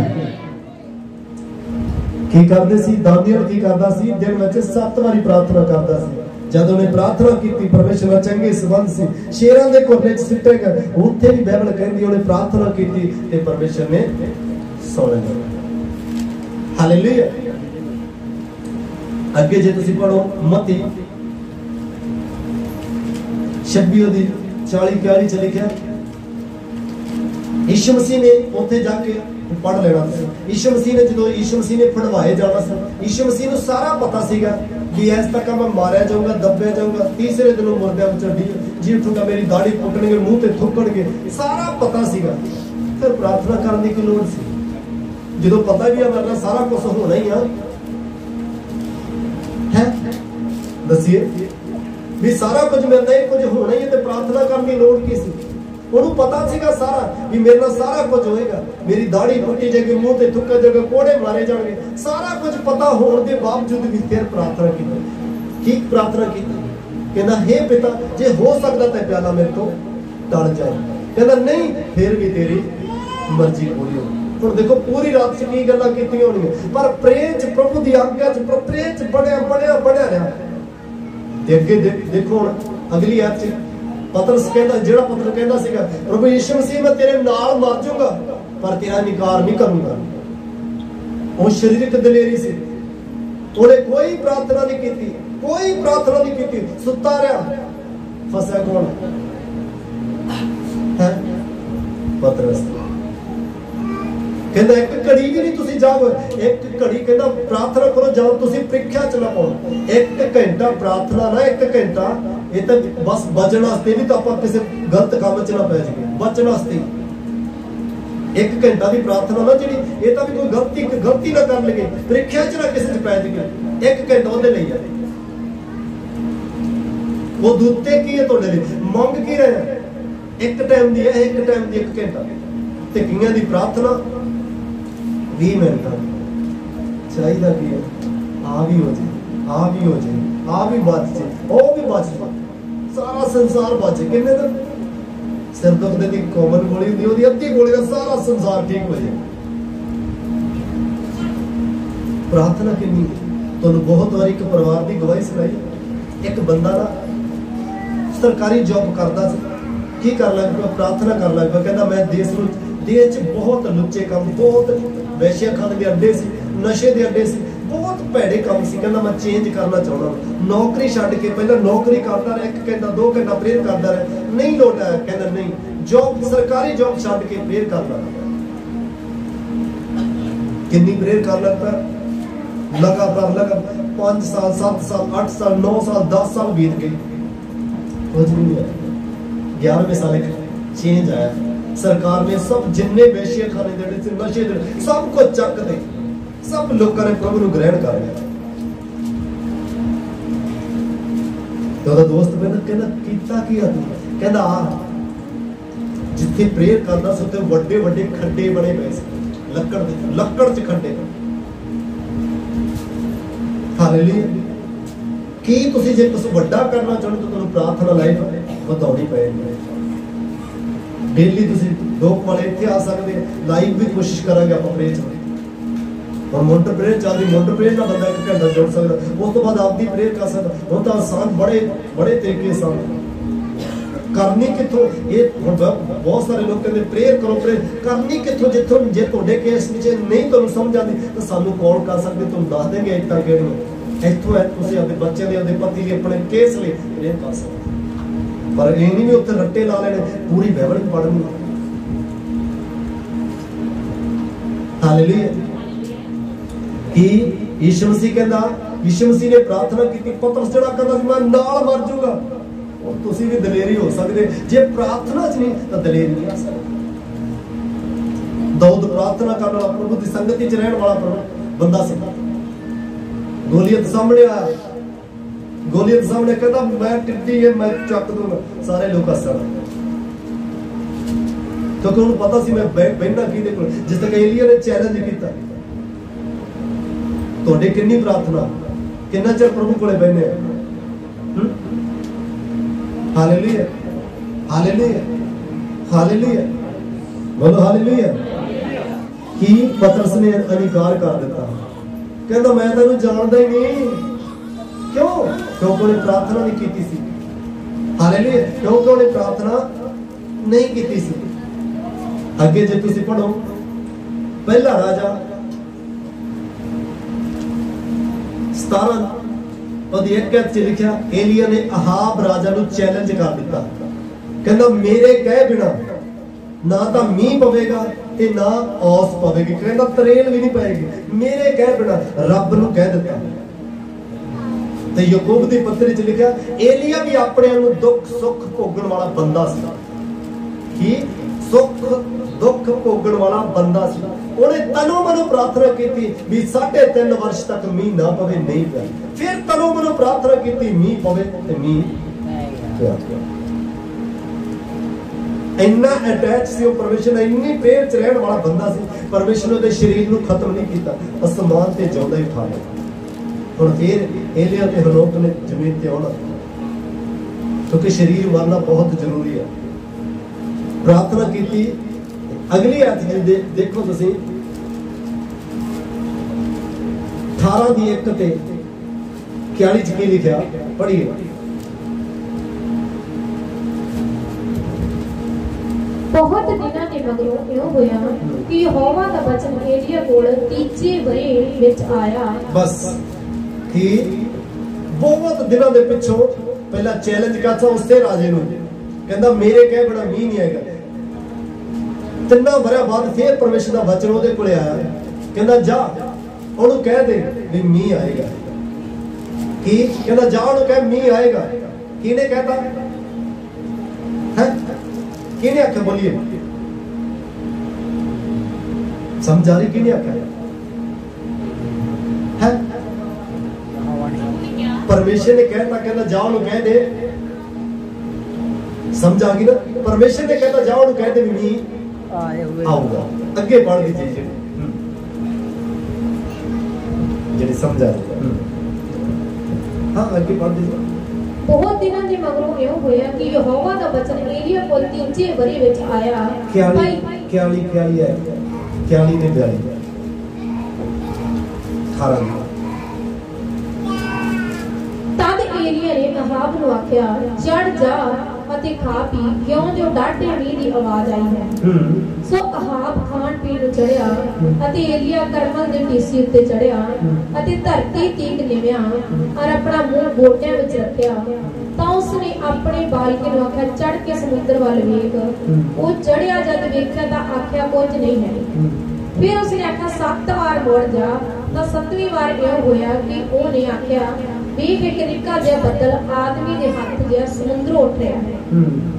ਤਾਂ ਉਸਨੇ ਆਖਿਆ ਜਾ ਆਹਾਬ ਨੂੰ ਆਖ ਭਾਈ ਰੱਥ ਜੋੜ ਕੇ ਹੇਠਾਂ ਜਾਓ ਤਾਂ ਜੋ ਮੀਂਹ ਤੁਹਾਨੂੰ ਨਾ ਅਟਕਾਵੇ। ਇੰਨੇ ਵਿੱਚ ਇਉਂ ਹੋਇਆ ਕਿ ਆਕਾਸ਼ ਘਟਾ ਹਵਾ ਨਾਲ ਕਾਲਾ ਹੋ ਗਿਆ ਅਤੇ ਡਾਢਾ ਮੀਂਹ ਵਰਿਆ ਤਾਂ ਆਹਾਬ ਚੜ ਕੇ ਇਜ਼ਰਾਈਲ ਨੂੰ ਗਿਆ ਅਤੇ ਯਹੋਵਾ ਦਾ ਹੱਥ ਏਲੀਆ ਦੇ ਉੱਤੇ ਸੀ। ਸੋ ਉਹ ਆਪਣਾ ਲੱਕ ਬਨ ਕੇ ਆਹਾਬ ਦੇ ਅੱਗੇ ਇਜ਼ਰਾਈਲ ਦੇ ਲਾਂਘੇ ਤੀਕ ਭੱਜਿਆ। ਬਸ। ਹੁਣ ਵੇਖੋ, ਜੇ ਪਹਿਲੀ ਐਤ ਤੁਹਾਨੂੰ 18 ਦੀ ਇੱਕ ਐਤ ਚ ਲਿਖਿਆ ਪਰਮੇਸ਼ਰ ਕਹਿੰਦਾ, ਕੀ ਕਹਿੰਦਾ? ਕਹਿੰਦਾ ਜਾ ਉਹਨੂੰ ਕਹਿੰਦੇ ਵੀ ਮੀਂਹ ਵਾਧੂ ਆਊਗਾ। ਤੇ ਉਹ ਅੱਗੇ ਜੇ ਤੁਸੀਂ 41 ਐਤ ਚ ਪੜੋ ਠੀਕ ਹੈ? 42 ਐਤ ਚ ਪੜੋ ਠੀਕ ਹੈ? ਤੇ ਏਲੀਆ ਕਿੱਥੇ ਚੜ ਗਿਆ? ਇੱਕ ਪਹਾੜ ਤੇ ਚੜ ਗਿਆ। ਇੱਕ ਚੋਟੀ ਤੇ ਚੜ ਗਿਆ। ਚੋਟੀ ਤੇ ਚੜ ਕੇ ਕੀ ਕੀਤਾ? ਗੋਡਿਆਂ 'ਚ ਸਿਰ ਲੈ ਲਿਆ। ਤੇ ਪ੍ਰਾਰਥਨਾ ਕੀਤੀ, ਕਿੰਨੇ ਵਾਰੀ ਕੀਤੀ? ਸੱਤ ਵਾਰੀ ਆਪਦੇ ਬੰਦੇ ਨੂੰ ਅੱਗੇ ਕਰੇ ਵੇਖ ਯਾਰ ਵੇਖ ਯਾਰ ਵੇਖ ਯਾਰ ਯਾਰ ਜਦੋਂ ਪ੍ਰਭੂ ਨੇ ਕਹਿ ਦਿੱਤਾ, ਮੀਂਹ ਆਊਗਾ ਤੇ ਪ੍ਰਾਰਥਨਾ ਕਰਨ ਦੀ ਕੀ ਲੋੜ ਆ? ਹੈ? ਪ੍ਰਭੂ ਨੇ ਕਹਿ ਦਿੱਤਾ ਵੀ ਤੂੰ ਯੀਸ਼ੂ ਦੇ ਕੋੜੇ ਖਾਣ ਨਾਲ ਚੰਗੀ ਹੋ ਚੁੱਕੀ ਹੈ ਤੇ ਫਿਰ ਕੀ ਲੋੜ ਆ ਪ੍ਰਾਰਥਨਾ ਕਰਨ ਦੀ? ਹੈ? ਕੀ ਲੋੜ ਆ ਪ੍ਰੇਰ ਕਰਨ ਦੀ? ਹੂੰ? ਹੈ? ਕੀ ਲੋੜ ਆ ਪ੍ਰਾਰਥਨਾ ਕਰਨ ਦੀ? ਸਮਝ ਆ ਗਈ? ਪ੍ਰਾਰਥਨਾ ਜਿਹੜੇ ਜਿਨ੍ਹਾਂ ਨੂੰ ਪ੍ਰਾਰਥਨਾ ਦਾ ਮਹੱਤਵ ਦਾ ਪਤਾ ਨਾ, ਪ੍ਰਾਰਥਨਾ ਦਾ, ਉਹਨੂੰ ਪਤਾ ਵੀ ਗੋਡਿਆਂ ਤੇ ਜਿੱਤਿਆ ਜਾਂਦਾ ਕੋਈ ਵੀ ਤੁਹਾਡਾ ਕੇਸ ਆ, ਕੋਈ ਵੀ ਤੁਹਾਡਾ ਤੁਹਾਨੂੰ ਗੋਡਿਆਂ ਤੇ ਆਉਣਾ ਪਊਗਾ। ਇਹ ਨਹੀਂ ਵੀ ਜਿਨ੍ਹਾਂ ਤੋਂ ਨਹੀਂ ਵੀ ਗੋਡਿਆਂ ਤੋਂ ਬੈਠ ਪ੍ਰੇਰ ਚ ਵਧਣਾ ਪੈਂਦਾ। ਸੱਤ ਵਾਰੀ ਦਾ ਮਤਲਬ, ਸੱਤੇ ਦੇਣੀ ਪਵਿੱਤਰਤਾ ਚ ਰਹਿਣਾ, ਸੱਤੇ ਦੇਣੀ ਪ੍ਰਾਰਥਨਾ ਚ ਰਹਿਣਾ। ਫਿਰ ਇੱਕ ਨਿੱਕਾ ਜਿਹਾ, ਨਿੱਕਾ ਜਦੋਂ ਇੰਨੀ ਪ੍ਰੇਅਰ ਕੀਤੀ ਹੁੰਦੀ, ਤੁਹਾਡੇ ਅੰਦਰ ਇੱਕ ਵਿਸ਼ਵਾਸ ਉੱਠਦਾ ਵੀ ਯਾਰ ਮੈਂ ਇੰਨੀ ਮਿਹਨਤ ਕੀਤੀ, ਇੰਨੀ ਪ੍ਰੇਅਰ ਕੀਤੀ, ਹੁਣ ਮੈਂ ਗਨਾ- ਗਲਤੀ ਗੁਨਾਹ ਚ ਨਹੀਂ ਕਰੂੰਗੀ। ਬੇਬੀਚਾਰ ਨਹੀਂ ਕਰੂੰਗਾ ਬੇਬੀਚਾਰ ਨਹੀਂ ਕਰਾਂਗੀ, ਨਸ਼ਾ ਨਹੀਂ ਪੀਵਾਂਗਾ ਗਾਲ ਨਹੀਂ ਕੱਢਾਂਗਾ, ਕਿਉਂਕਿ ਮੇਰੀ ਇੰਨੀ ਮਿਹਨਤ ਵਿਅਰਥ ਹੋ ਜਾਏਗੀ। ਮੈਂ ਇੰਨੇ ਵਰਤ ਰੱਖੇ ਇੰਨੇ ਫਿਰ ਕੀ ਕੀਤਾ? ਉਹ ਫਿਰ ਛੋਟਾ ਜਿਹਾ, ਨਿੱਕਾ ਜਿਹਾ ਬੱਦਲ ਹੁੰਦਾ ਵੱਡੀ ਬਰਕਤ ਚ, ਵੱਡੀ ਆਸ ਚ ਬਦਲ ਜਾਂਦਾ। ਮੈਂ ਕਿਹਾ, ਤੁਹਾਡੇ ਜੀਵਨ ਚ ਵੀ ਹੋਏਗਾ ਯੀਸ਼ੂ ਦੇ ਸਾਮਰਥ ਨਾਲ ਮੈਂ ਕਿਹਾ ਵੱਡਾ ਕੰਮ ਤੁਹਾਡੇ ਜੀਵਨ ਚ ਵੀ ਹੋਏਗਾ ਯੀਸ਼ੂ ਦੇ ਨਾਮ ਸੇ। ਯੀਸ਼ੂ ਨੇ ਆਖਿਆ, ਜੇ ਰਾਈ ਦੇ ਦਾਣੇ ਜਿਵੇਂ ਤੁਹਾਡੇ ਅੰਦਰ ਵਿਸ਼ਵਾਸ ਤੇ ਪਹਾੜ ਟਲ ਜਾਏਗਾ। ਮੈਂ ਕਿਹਾ, ਹਰ ਇੱਕ ਸ਼ਰਮ ਤੁਹਾਡੇ ਅੰਦਰ ਟਲ ਜਾਏ ਯੀਸ਼ੂ ਦੇ ਨਾਮ ਸੇ। ਕੀ ਕਹਿੰਦਾ? ਗੋਡਿਆਂ 'ਚ ਸਿਰ ਲੈ ਕੇ ਆਪਦੇ ਬਾਲ ਨੂੰ ਕਹਿੰਦਾ, ਸੱਤ ਵਾਰੀ ਉਹਨੇ ਕਹਿੰਦਾ, ਨਿੱਕੀ ਜੀ, ਨਿੱਕਾ ਨਿੱਕਾ ਜਦੋਂ ਤੁਸੀਂ ਪ੍ਰਾਰਥਨਾ ਜ਼ਿਆਦਾ ਕਰਦੇ, ਤਾਂ ਤੁਹਾਡੇ ਅੰਦਰ ਇੱਕ ਵਿਸ਼ਵਾਸ ਪੈਦਾ ਹੁੰਦਾ, ਇੱਕ ਫੇਥ ਪੈਦਾ ਹੁੰਦਾ। ਤੇ ਕਈ ਤਾਂ ਕਰਦੇ ਹੀ ਨਹੀਂ। ਫੇਥ ਕਾਦਾ ਚਰਚ ਆਉਂਦੇ ਚਰਚ ਆਏ ਮੁੜ ਕੇ ਚਰਚ ਆਏ ਆਉਂਦੇ। ਹਾਲੇਲੂਇਆ। ਹਾਲੇਲੂਇਆ। ਹਾਲੇਲੂਇਆ। ਆਓ ਆਪਾਂ ਇੱਕ ਹੋਰ ਐਤ ਪੜ੍ਹਦੇ ਹਾਂ ਠੀਕ ਹੈ ਕੀ ਕੀਤਾ ਏਲੀਆ ਨੇ ਦੇਖੋ ਹੁਣ, ਫਿਰ ਸਮਝ ਲੈਣਾ ਇਸ ਗੱਲ ਨੂੰ। ਜਦੋਂ ਪ੍ਰਭੂ ਨੇ ਕਹਿ ਦਿੱਤਾ ਕਹਿ ਦਿੱਤਾ, ਤਾਂ ਫਿਰ ਪ੍ਰੇਮ ਦੀ ਕੀ ਲੋੜ ਹੈ ਪ੍ਰੇਰ ਕਰਨਾ ਉਸ ਚੀਜ਼ ਨੂੰ ਆਪਣੇ ਜੀਵਨ 'ਚ ਆਪਣੀ ਲਾਈਫ 'ਚ ਲੈ ਕੇ ਆਉਣਾ।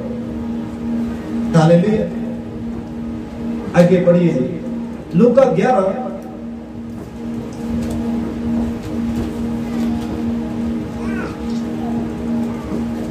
ਉਹਦੀ ਅੱਠ ਚ ਲਿਖਿਆ ਪਰ ਉਹਦੇ ਟੀਠਪਣੇ ਦੇ ਕਾਰਨ ਇੱਥੇ ਮੈਂ ਤੁਹਾਨੂੰ ਦੱਸਣਾ ਚਾਹਣਾ ਦੋ ਮਿੱਤਰ ਸੀ। ਯੀਸ਼ੂ ਮਸੀਹ ਨੇ ਉਦਾਹਰਨ ਦਿੱਤੀ ਇਹ। ਦੋ ਮਿੱਤਰ ਸੀ। ਕਿੰਨੇ? ਦੋ ਮਿੱਤਰ। ਦੋ ਮਿੱਤਰ ਸੀ। ਕਲਜੀਤ ਤੇ ਭਾਈ ਗੁਰਜਿੰਦਰ। ਇਹਨਾਂ ਦਾ ਇੱਕ ਦੋਸਤ ਆ ਗਿਆ। ਠੀਕ ਹੈ।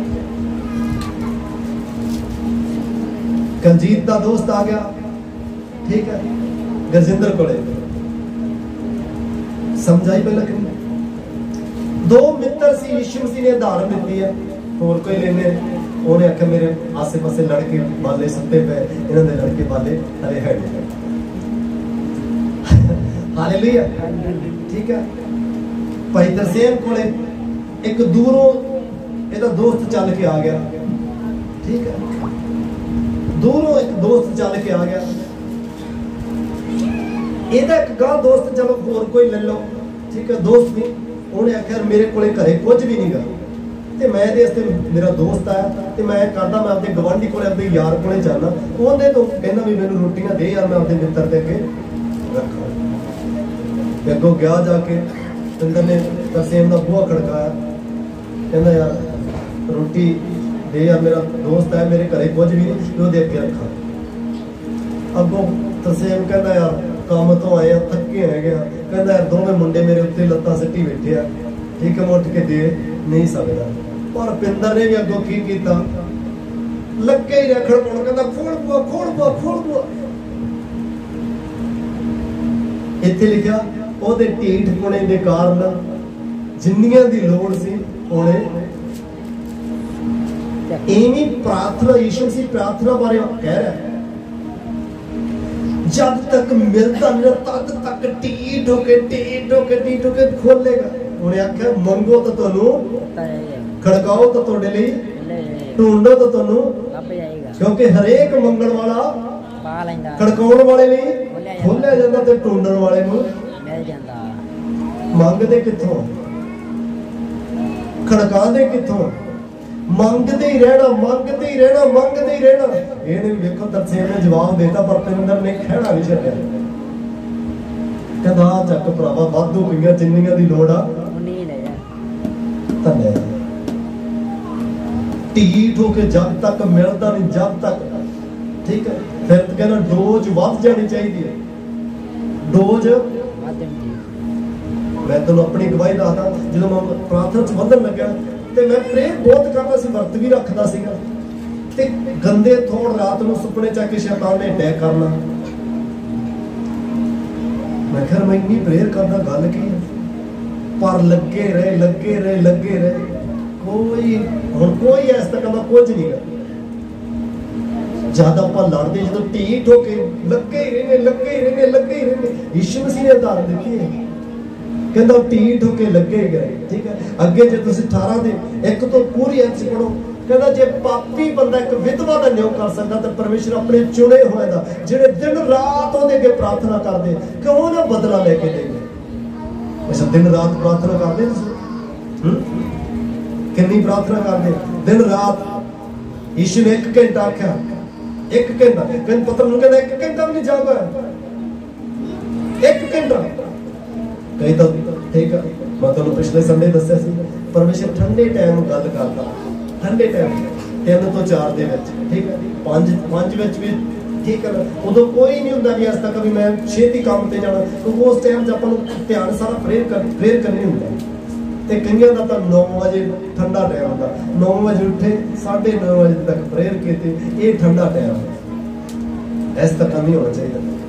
ਪ੍ਰੇਰ ਦਾ ਇੱਕ ਮਹੱਤਵ ਹੋਣਾ ਬੈਸਟ ਟਾਈਮ ਹੋਣਾ ਚਾਹੀਦਾ ਬੈਸਟ ਵਧੀਆ। ਭਾਂਡੇ ਮਾਜਰਾ ਨੇੜੇ ਤੋਂ ਫਿਰ ਪ੍ਰੇਰ ਕਰੂੰਗਾ, ਫਿਰ ਪ੍ਰੇਰ ਕਰਾਂਗੇ। ਹਾਲੇਲੂਇਆ ਹਾਲੇਲੂਇਆ ਕਿ ਉਹ ਕਹਿੰਦਾ, ਜੇ ਇੱਕ ਪਾਪੀ ਬੰਦਾ ਵਿਧਵਾ ਦਾ ਨਿਆਂ ਕਰ ਸਕਦਾ, ਤਾਂ ਪਰਮੇਸ਼ਰ ਆਪਣੇ ਚੁਣੇ ਹੋਏ ਦਾ ਕਿਉਂ ਨਾ ਬਦਲਾ ਲੈ ਕੇ ਦੇਗਾ ਜਿਹੜੇ ਦਿਨ ਰਾਤ ਉਹਦੇ ਅੱਗੇ ਕੀ ਤੁਸੀਂ ਦਿਨ ਰਾਤ ਆਪਦੇ ਕੇਸ ਲਈ, ਆਪਦੇ ਬੱਚੇ ਲਈ, ਆਪਦੇ ਪਤੀ ਲਈ, ਆਪਣੀ ਪਤਨੀ ਲਈ, ਆਪਣੇ ਕੇਸ ਲਈ ਦਿਨ ਰਾਤ ਪ੍ਰਾਰਥਨਾ ਕਰਦੇ ਆ ਹਾਲੇਲੂਇਆ ਹਾਲੇਲੂਇਆ ਹਾਲੇਲੂਇਆ ਬਹੁਤ ਸਾਰੇ ਲੋਕ ਕੀ ਕਰਦੇ ਆ? ਟੀਵੀ ਤੇ 2-2 ਘੰਟੇ 4-4 ਘੰਟੇ ਬੈਠੇ ਰਹਿੰਦੇ ਉਸ ਵਕਤ ਪ੍ਰੇਅਰ ਦਾ ਟਾਈਮ ਲੰਘ ਜਾਂਦਾ। ਜਾਂ ਫੋਨ ਤੇ ਬੈਠੇ ਰਹਿੰਦੇ ਆ। ਪ੍ਰੇਅਰ ਦਾ ਟਾਈਮ ਲੰਘ ਜਾਂਦਾ 2 ਮਿੰਟ 2 ਮਿੰਟ 2 ਮਿੰਟ ਕਰਦੇ। ਤੋਂ ਪ੍ਰਾਰਥਨਾ ਦਾ ਟਾਈਮ ਲੰਘ ਜਾਂਦਾ ਉਸ ਤੋਂ ਬਾਅਦ ਜਦੋਂ ਪ੍ਰਾਰਥਨਾ 'ਚ ਬੈਠੇ ਤੇ ਨੀਂਦ ਆਉਣ ਲੱਗ ਪੈਂਦੀ ਹੈ। ਜਿਸ ਟਾਈਮ ਪ੍ਰਾਰਥਨਾ ਕਰਨੀ, ਪਤਾ ਵੀ 9 ਵਜੇ ਪ੍ਰਾਰਥਨਾ ਸ਼ੁਰੂ ਕਰਨੀ 9 ਵਜੇ ਤੋਂ ਪਹਿਲਾਂ ਸਾਰੇ ਕੰਮ ਕੰਪਲੀਟ ਹੋਣੇ ਚਾਹੀਦੇ। ਹਾਲੇਲੂਇਆ ਹਾਲੇਲੂਇਆ ਹਾਲੇਲੂਇਆ ਕਿੰਨੇ? 9 ਵਜੇ। ਜਿਹੜਾ ਵੀ ਟਾਈਮ ਤੁਸੀਂ ਸਵੇਰ ਦਾ ਰੱਖਿਆ, ਸਵੇਰ ਤੋਂ ਇੱਧਰ ਉੱਧਰ ਨਹੀਂ ਹੋਣਾ ਚਾਹੀਦਾ। ਬੈਸਟ ਟਾਈਮ ਬੈਸਟ ਕੁਆਲਿਟੀ ਵਧੀਆ ਟਾਈਮ ਵਧੀਆ ਟਾਈਮ ਅੱਗੇ ਪੜਾਂਗੇ ਕਰ ਕੀ ਕੀਤਾ, ਉਹ ਕਹਿੰਦਾ ਜਿਹੜੇ ਦਿਨ ਰਾਤ ਮੇਰੇ ਅੱਗੇ ਦੁਹਾਈ ਦਿੰਦੇ ਆ। ਇਤਿਹਾਸ, ਦੂਜਾ ਇਤਿਹਾਸ 32 ਦੀ 24 ਤੋਂ। 30 ਤੱਕ ਦਾ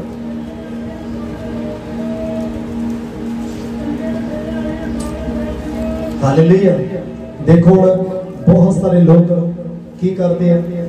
ਪ੍ਰਾਰਥਨਾ ਨਹੀਂ ਕਰਦੇ। ਜਿੰਨੇ ਵੀ ਤੁਸੀਂ ਦੇਖੋ, ਅਬਰਾਮ ਦਾ ਪਰਮੇਸ਼ਰ ਨਾਲ ਪ੍ਰਾਰਥਨਾ ਨਾਲ ਸੰਬੰਧ ਸੀ, ਇਸਾਕ ਦਾ ਸੰਬੰਧ ਸੀ, ਹੱਥ ਦੇ ਟਾਈਮ ਪ੍ਰੇਰ ਕਰਨ ਜਾਂਦਾ ਸੀ ਕਿੱਥੇ ਖੇਤਾਂ 'ਚ ਜਾਂਦਾ ਸੀ, ਠੀਕ ਹੈ?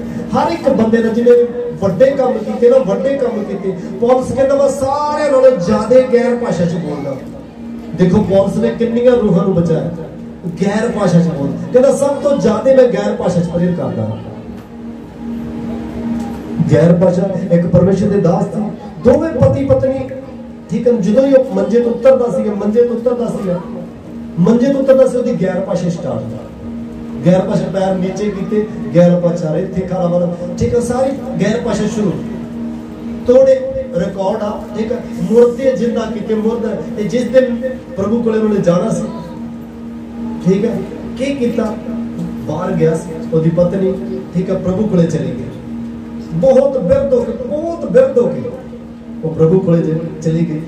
ਘਰ ਵਾਪਸ ਆਇਆ, ਦੇਖਿਆ, ਪ੍ਰਭੂ ਕੋਲੇ ਚਲੀ ਗਈ। ਕੀ ਪ੍ਰੇਰ ਕੀਤੀ? ਕਹਿੰਦਾ, ਪ੍ਰਭੂ, ਕਹਿੰਦਾ ਮੈਂ ਤੇ ਇਹ ਜੋਦੀ ਛੱਡ ਕੇ ਗਿਆ ਸੀ। ਕਹਿੰਦਾ ਜੋਦੀ ਛੱਡ ਕੇ ਗਿਆ ਸੀ। ਪ੍ਰਭੂ ਨੇ ਉਹਦਾ ਆਤਮਾ ਫਿਰ ਤੋਂ ਲੈ ਆਇਆ ਫਿਰ ਤੋਂ ਵਾਪਸ ਲੈ ਆਇਆ ਪ੍ਰਾਰਥਨਾ ਦੇਖੋ ਕੀ ਕੁਝ ਕਰ ਸਕਦੀ ਹੈ। ਫਿਰ ਤੋਂ ਫਿਰ ਤੋਂ ਉਹਦਾ ਆਤਮਾ ਵਿੱਚ ਆ ਗਿਆ। ਤੂੰ ਕਹਿੰਦੀ, ਮੈਨੂੰ ਕਿਉਂ ਡਿਸਟਰਬ ਕੀਤਾ? ਮੈਂ ਸ਼ਾਂਤੀ ਪਾਉਂਦੀ ਸੀ ਉੱਥੇ। ਹਾਲੇਲੂਇਆ ਉਹਨੇ ਫਿਰ ਪ੍ਰਭੂ ਨੂੰ ਕੇ ਫਿਰ ਲੈ ਲਿਆ ਪ੍ਰਭੂ ਨੇ। ਹਾਲੇਲੂਇਆ ਪ੍ਰਾਰਥਨਾ ਪ੍ਰਾਰਥਨਾ। ਕੀ ਪ੍ਰਾਰਥਨਾ ਦਾ ਤੁਹਾਡੇ ਜੀਵਨ 'ਚ ਇੱਕ ਮਹੱਤਵ ਇੱਕ ਜੇ ਵੱਡੇ ਕੰਮ, ਜੇ ਚਮਤਕਾਰ, ਦਰਸ਼ਨ ਰੱਖ ਕੇ ਵਿਜ਼ਨ ਹੋਣਾ ਚਾਹੀਦਾ ਟਾਰਗੇਟ ਹੋਣਾ ਚਾਹੀਦਾ। ਮੇਰਾ ਟਾਰਗੇਟ ਸੀ, ਮੈਨੂੰ ਬਹੁਤ ਸ਼ੈਤਾਨ ਨੇ ਟਾਰਗੇਟ ਕੀਤਾ ਸੀ ਪਹਿਲਾਂ, ਹੁਣ ਨਹੀਂ ਕਰਦਾ। ਮੇਰਾ ਦਿਲ ਕਰਦਾ ਸੀ ਮੈਂ ਤਾਂ ਸਭ ਕੁਝ ਵੇਚ ਕੇ ਘਰੋਂ ਨਿਕਲ ਜਾਵਾਂ। ਠੀਕ ਹੈ, ਦੇਖੋ ਹੁਣ ਮੇਰਾ ਪਰਿਵਾਰ ਠੀਕ ਹੈ। ਪੂਰਾ ਪੂਰਾ ਬਚ ਚੁੱਕਾ।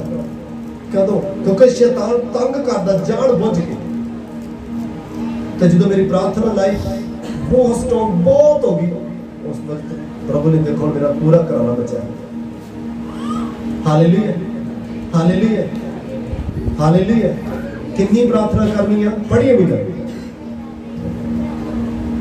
ਮੈਂ 24 ਤੋਂ ਪੜ੍ਹਦੇ ਜੀ ਉਹਨਾਂ ਬਿਮਾਰ ਹੋਇਆ, ਜੋ ਮਰਨ ਦੇ ਨੇੜੇ ਜਾ ਪੁੱਜਾ ਅਤੇ ਉਹਨੇ ਯਹੋਵਾ ਅੱਗੇ ਪ੍ਰਾਰਥਨਾ ਕੀਤੀ, ਤਦ ਉਸਨੇ ਉਹਨੂੰ ਆਖਿਆ ਅਤੇ ਉਹਨੂੰ ਇੱਕ ਨਿਸ਼ਾਨ ਦਿੱਤਾ। ਪਰ ਹਿਜ਼ਕੀਆ ਦੇਖੋ ਦੇਖੋ, ਹਿਜਕੀਆ ਨਬੀ ਨੇ ਬਹੁਤ ਬਿਮਾਰ ਹੋ ਕੇ ਉਹਨੂੰ ਕੈਂਸਰ ਦਾ ਫੋੜਾ ਹੋ ਚੁੱਕਿਆ ਸੀ, ਮਰਨ ਦੇ ਨੇੜੇ ਸੀ। ਉਹਨੇ ਕੀ ਕੀਤਾ? ਕੀ ਕੀਤਾ ਉਹਨੇ? ਬੋਲੋ, ਕੀ ਕੀਤਾ? ਕੀ ਪ੍ਰਾਰਥਨਾ ਕੀਤੀ? ਕਹਿੰਦਾ, ਵੇਖ ਲੈ ਪ੍ਰਭੂ, ਜਿਵੇਂ ਤੇਰੀ ਮਰਜ਼ੀ ਸੀ ਉਵੇਂ ਹੀ ਕਰਦਾ ਰਿਹਾ, ਮੈਂ ਜਿਵੇਂ ਤੇਰੀ ਆਗਿਆ ਤੇ ਚੱਲਦਾ ਰਿਹਾ, ਪਰ ਮੈਂ ਜੀਣਾ ਚਾਹਣਾ ਤੁਸੀਂ ਕੀ ਦੱਸੋਗੇ?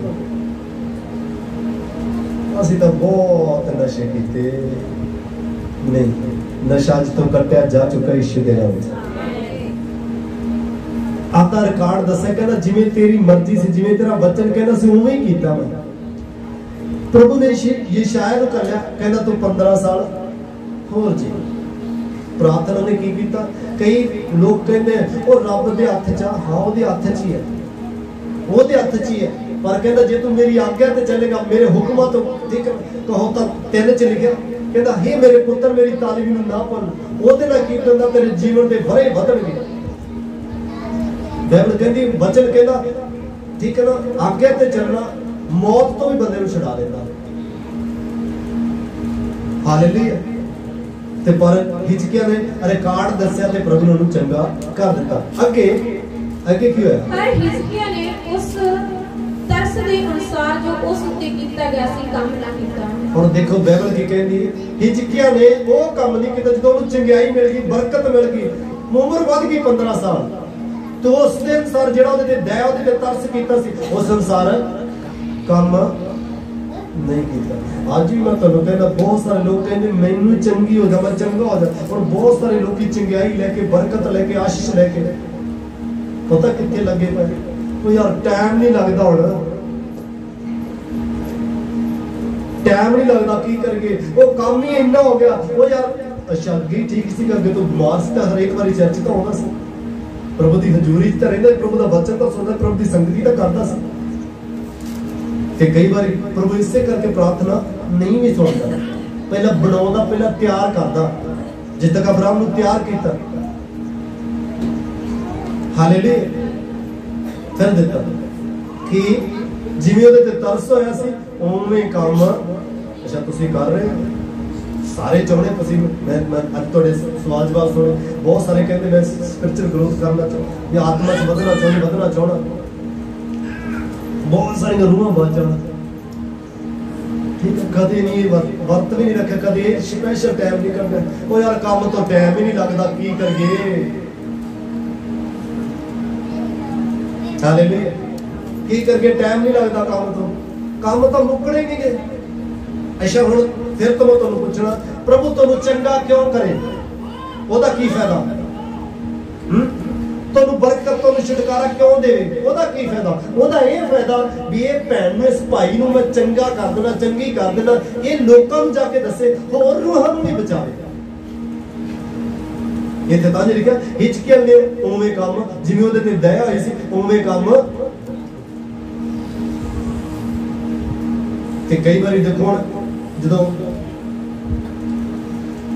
ਪਹਿਲਾ ਰਾਜਾ ਦੀ ਪੰਜ ਚ ਵੀ ਲਿਖਿਆ, ਦੂਜਾ ਰਾਜਾ ਉਹਦੀ ਪੰਜ ਚ ਲਿਖਿਆ। ਠੀਕ ਹੈ ਨਮਾਨ ਕੋੜੀ ਇੱਕ ਕੁੜੀ ਨੂੰ ਬੰਦੀ ਬਣਾ ਕੇ ਲੈ ਉਹਨੇ ਉੱਥੇ ਵੀ ਸੁਬਹ ਸਭ ਸਮਾਜ ਬੰਧਨ ਬਿਮਾਰੀ ਚ ਵੀ ਸਮਾਚਾਰ ਸੁਣਾਤਾ। ਤੇ ਬਿਮਾਰੀ ਚੋਂ ਉਸ ਆਫਤ ਚੋਂ ਮੁਸੀਬਤ ਤੋਂ ਛੁੱਟ ਗਈ। ਚਿੰਗਿਆਈ, ਅਗਲੀ ਗਵਾਹੀ ਲੈਣ ਦਾ ਇੱਕੋ ਹੀ ਤਰੀਕਾ, ਛੋਟੀ ਗਵਾਹੀ ਦੇਣਾ, ਛੋਟੀ ਗਵਾਹੀ ਦੇਣਾ, ਛੋਟੀ ਗਵਾਹੀ ਦੇਣਾ, ਛੋਟੀ ਗਵਾਹੀ ਕਿਹਨੂੰ ਦੇਣੀ ਹੈ? ਜਿਹੜਾ ਵੀ ਮਿਲ ਗਿਆ। ਇੱਥੇ ਕੀ ਕੀਤਾ? ਉਹਨੇ ਪ੍ਰਾਰਥਨਾ ਕੀਤੀ ਪ੍ਰਭੂ ਨੇ ਚੰਗਾ ਕਰ ਦਿੱਤਾ। ਚੰਗਿਆਈ ਲੈਣ ਤੋਂ ਬਾਅਦ ਉਸ ਅਨੁਸਾਰ ਕੰਮ ਨਹੀਂ ਕੀਤਾ। ਤੁਸੀਂ ਵੀ ਚਾਹੁੰਦੇ ਚਰਚ ਗਰੋ ਕਰੇ? ਵੇਖੋ ਹੁਣ ਪੂਰਾ ਕੰਮ ਕਰ ਰਿਹਾ। ਬਾਕੀ ਸਰੀਰ ਬਾਕੀ ਨੂੰ ਵੀ ਕਰਨਾ ਚਾਹੀਦਾ। ਹਾਲੇਲੂਇਆ ਬਾਕੀ ਨੂੰ ਵੀ ਸੇਮ ਹੀ ਕਰਨਾ ਚਾਹੀਦਾ। ਅੱਗੇ ਵਧਦੇ ਜੀ 30 ਤੱਕ। ਪਰ ਹਿਜ਼ਕੀਆ ਨੇ ਉਸ ਤਰਸ ਦੇ ਅਨੁਸਾਰ ਜੋ ਉਸ ਉੱਤੇ ਕੀਤਾ ਗਿਆ ਸੀ ਕੰਮ ਨਾ ਕੀਤਾ। ਕਿਉਂ? ਜੋ ਉਹਦੇ ਮਨ ਵਿੱਚ ਹੰਕਾਰ ਸਮਾ ਗਿਆ ਸੀ। ਇਸ ਲਈ ਉਹਦੇ ਉੱਤੇ ਅਤੇ ਯਹੂਦਾ ਤੇ ਯਰੂਸ਼ਲਮ ਉੱਤੇ ਕਹਿਰ ਭੜ ਗਿਆ।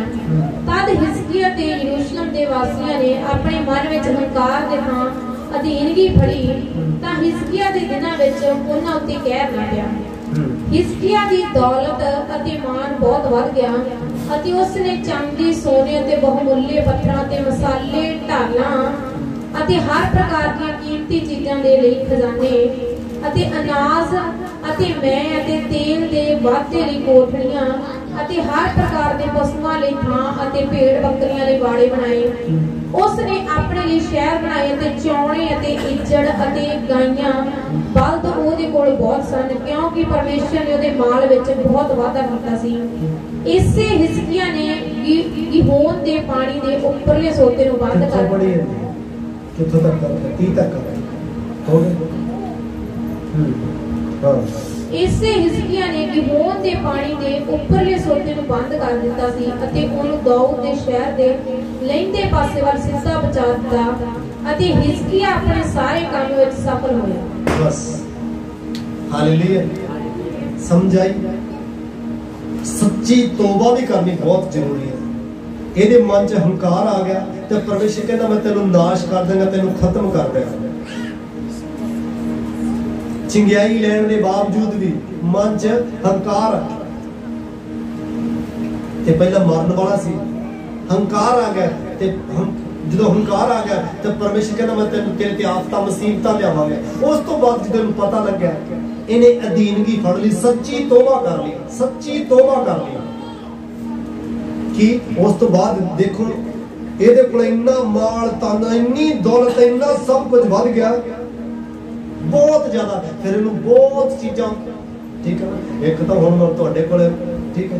ਮੰਨ ਲਓ ਜੀ, ਤੁਹਾਡੇ ਕਿਸੇ ਦੇ, ਮੰਨ ਦੋ ਖਾਤੇ ਹੋਣਗੇ, ਇੱਕ ਖਾਤਾ ਹੋਊਗਾ, ਇੱਕ ਖਾਤਾ ਪੈਸੇ ਨਾਲ ਭਰ ਗਿਆ ਦੂਜਾ ਵੀ ਭਰ ਗਿਆ ਕਿ ਤੀਜੇ ਵਾਸਤੇ ਹੋਰ ਪੈਸੇ ਆ ਗਏ, ਕਿੱਥੇ ਰੱਖ ਗਏ ਫਿਰ ਇਹਨੂੰ ਕੀ ਕੀਤਾ? ਫਿਰ ਪੁਰਾਣੇ ਟਾਈਮ 'ਚ, ਠੀਕ ਹੈ? ਪਸ਼ੂ ਜਿਹਦੇ ਕੋਲ ਇਹ ਚੀਜ਼ਾਂ ਹੁੰਦੀਆਂ ਸੀ, ਉਹ ਜਾਣੀ ਕਿ ਬਹੁਤ ਅਮੀਰ ਹੁੰਦਾ ਸੀ। ਇਹਨੇ ਕੀ ਕੀਤਾ? ਨੂੰ ਬਹੁਤ ਸਾਰੀਆਂ ਕੋਠੀਆਂ, ਬਹੁਤ ਚੀਜ਼ਾਂ ਬਣਾਉਣੀਆਂ ਪਈਆਂ। ਕਿਉਂ? ਕਿਉਂਕਿ ਇਹਨੇ ਕਮਾਂਡ ਦੇ ਥਾਂ ਅਧੀਨਗੀ ਫੜ ਲਈ। ਕਿ ਬਾਈਬਲ ਤਾਂ ਨਹੀਂ ਪਰਮੇਸ਼ਰ ਦੇ ਅਧੀਨ ਹੋਵੋ ਔਰ ਸ਼ੈਤਾਨ ਦਾ ਸਾਹਮਣਾ ਕਰੋ। ਅਧੀਨ ਹੋਣ ਦਾ ਮਤਲਬ ਵਚਨ ਦੇ ਅਧੀਨ, ਵਚਨ ਨੂੰ ਮੰਨਣਾ, ਲਿਖਤ ਨੂੰ ਮੰਨਣਾ। ਬਹੁਤ ਸਾਰੇ ਲੋਕ ਕਹਿੰਦੇ, ਸਾਡੀ ਇੱਜ਼ਤ ਵਧੇ, ਸਾਡੀ ਸ਼ੋਹਰਤ ਵਧੇ, ਸਾਡੇ ਪੈਸੇ, ਸਾਡਾ ਬਿਜ਼ਨਸ ਵਧੇ। ਅਧੀਨ ਹੈ ਤੁਸੀਂ? ਹੈ? ਅਧੀਨ ਹੈ? ਪ੍ਰਾਰਥਨਾ ਕਰਨਾ। ਜਦੋਂ ਬੰਦਾ ਡੇਲੀ ਪ੍ਰਾਰਥਨਾ 'ਚ ਜਾਂਦਾ ਨਾ ਡੇਲੀ ਪ੍ਰਾਰਥਨਾ 'ਚ ਡੇਲੀ ਕੋਈ ਭੈਣ, ਕੋਈ ਭਾਈ ਜਾਂਦਾ ਤੇ ਜੋ ਗਲਤੀ ਗੁਨਾਹ ਕਰਦਾ, ਉਹਨੂੰ ਪਤਾ ਹੁੰਦਾ ਮੈਂ ਸ਼ਾਮ ਨੂੰ ਪ੍ਰਭੂ ਕੋਲੇ ਜਾਣਾ, ਤੇ ਗਲਤੀ ਨਹੀਂ ਕਰਦਾ। ਦਰਸ਼ਨ ਰੱਖ ਕੇ ਪ੍ਰੇਰ ਕਰਨਾ ਫਿਰ ਉਹਦਾ ਟਾਰਗੇਟ ਬਣ ਜਾਂਦਾ ਵੀ ਮੈਂ ਆਪਣੀ ਧੀ ਨੂੰ, ਆਪਦੇ ਪੁੱਤ ਨੂੰ, ਮੈਂ ਇਸ ਕੇਸ ਨੂੰ ਸ਼ਰਮਿੰਦਗੀ ਨੂੰ ਖਤਮ ਕਰਾਂਗੀ, ਕਰਾਂਗਾ। ਬਹੁਤ ਸਾਰੇ ਲੋਕਾਂ ਦੇ ਘਰਾਂ 'ਚ ਬੇਬੀਚਾਰ ਨਸ਼ੇ, ਉਹਨਾਂ ਨੂੰ ਸ਼ਰਮ ਹੀ ਨਹੀਂ ਆਉਂਦੀ।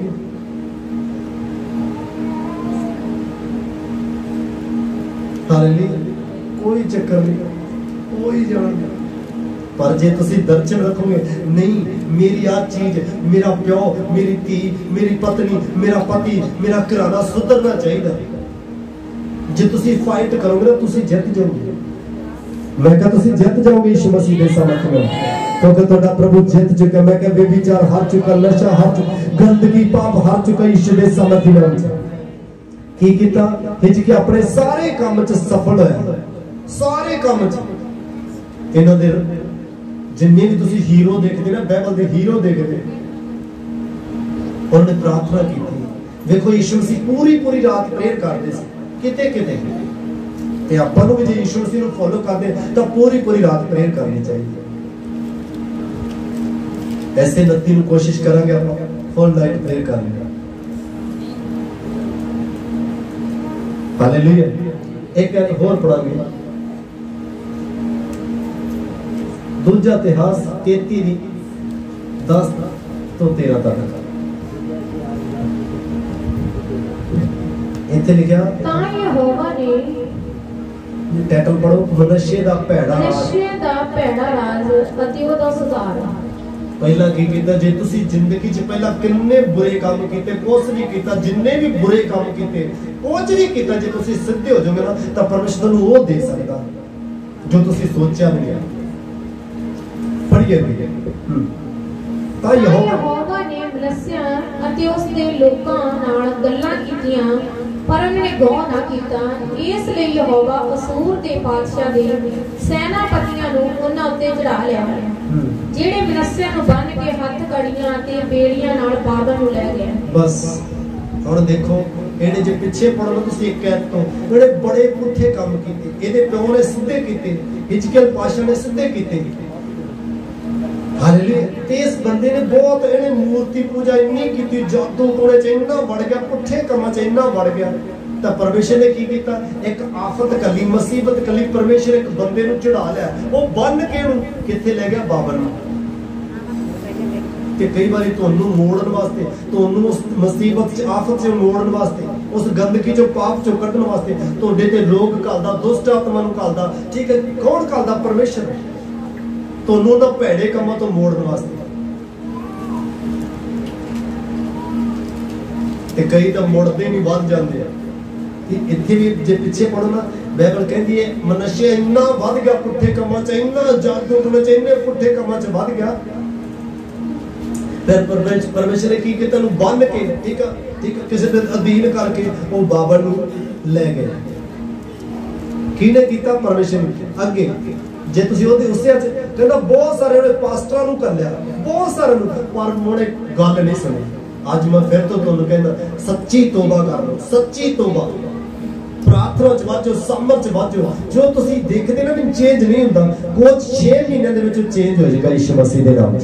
ਮੈਂ ਕਿਹਾ, ਕੋਈ ਵੀ ਚੀਜ਼ ਉਹ ਚੇਂਜ ਹੋ ਜਾਏਗੀ ਯਿਸੂ ਮਸੀਹ ਦੇ ਨਾਮ ਤੇ। ਪੁਰਾਣੀ ਤਸਵੀਰ ਚਲੀ ਜਾਏਗੀ ਯਿਸੂ ਦੇ ਨਾਮ ਸੇ ਅੱਗੇ ਪਿਆ ਤਾਂ ਉਹਨੇ ਯਹੋਵਾ ਆਪਣੇ ਪਰਮੇਸ਼ਰ ਦੀ ਮਿਹਨਤ ਕੀਤੀ।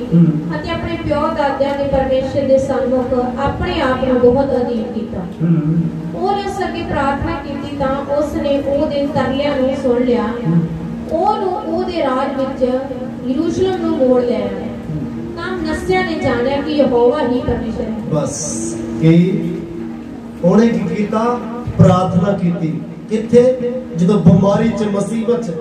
ਬਾਈਬਲ ਕਹਿੰਦੀ, ਜੋ ਕੋਈ ਦੁਖੀ ਆ, ਤਾਂ ਉਹ ਕੀ ਕਰੇ? ਨਹੀਂ, ਰੋਵੇ। ਉੱਚੀ ਉੱਚੀ ਰੋਵੇ।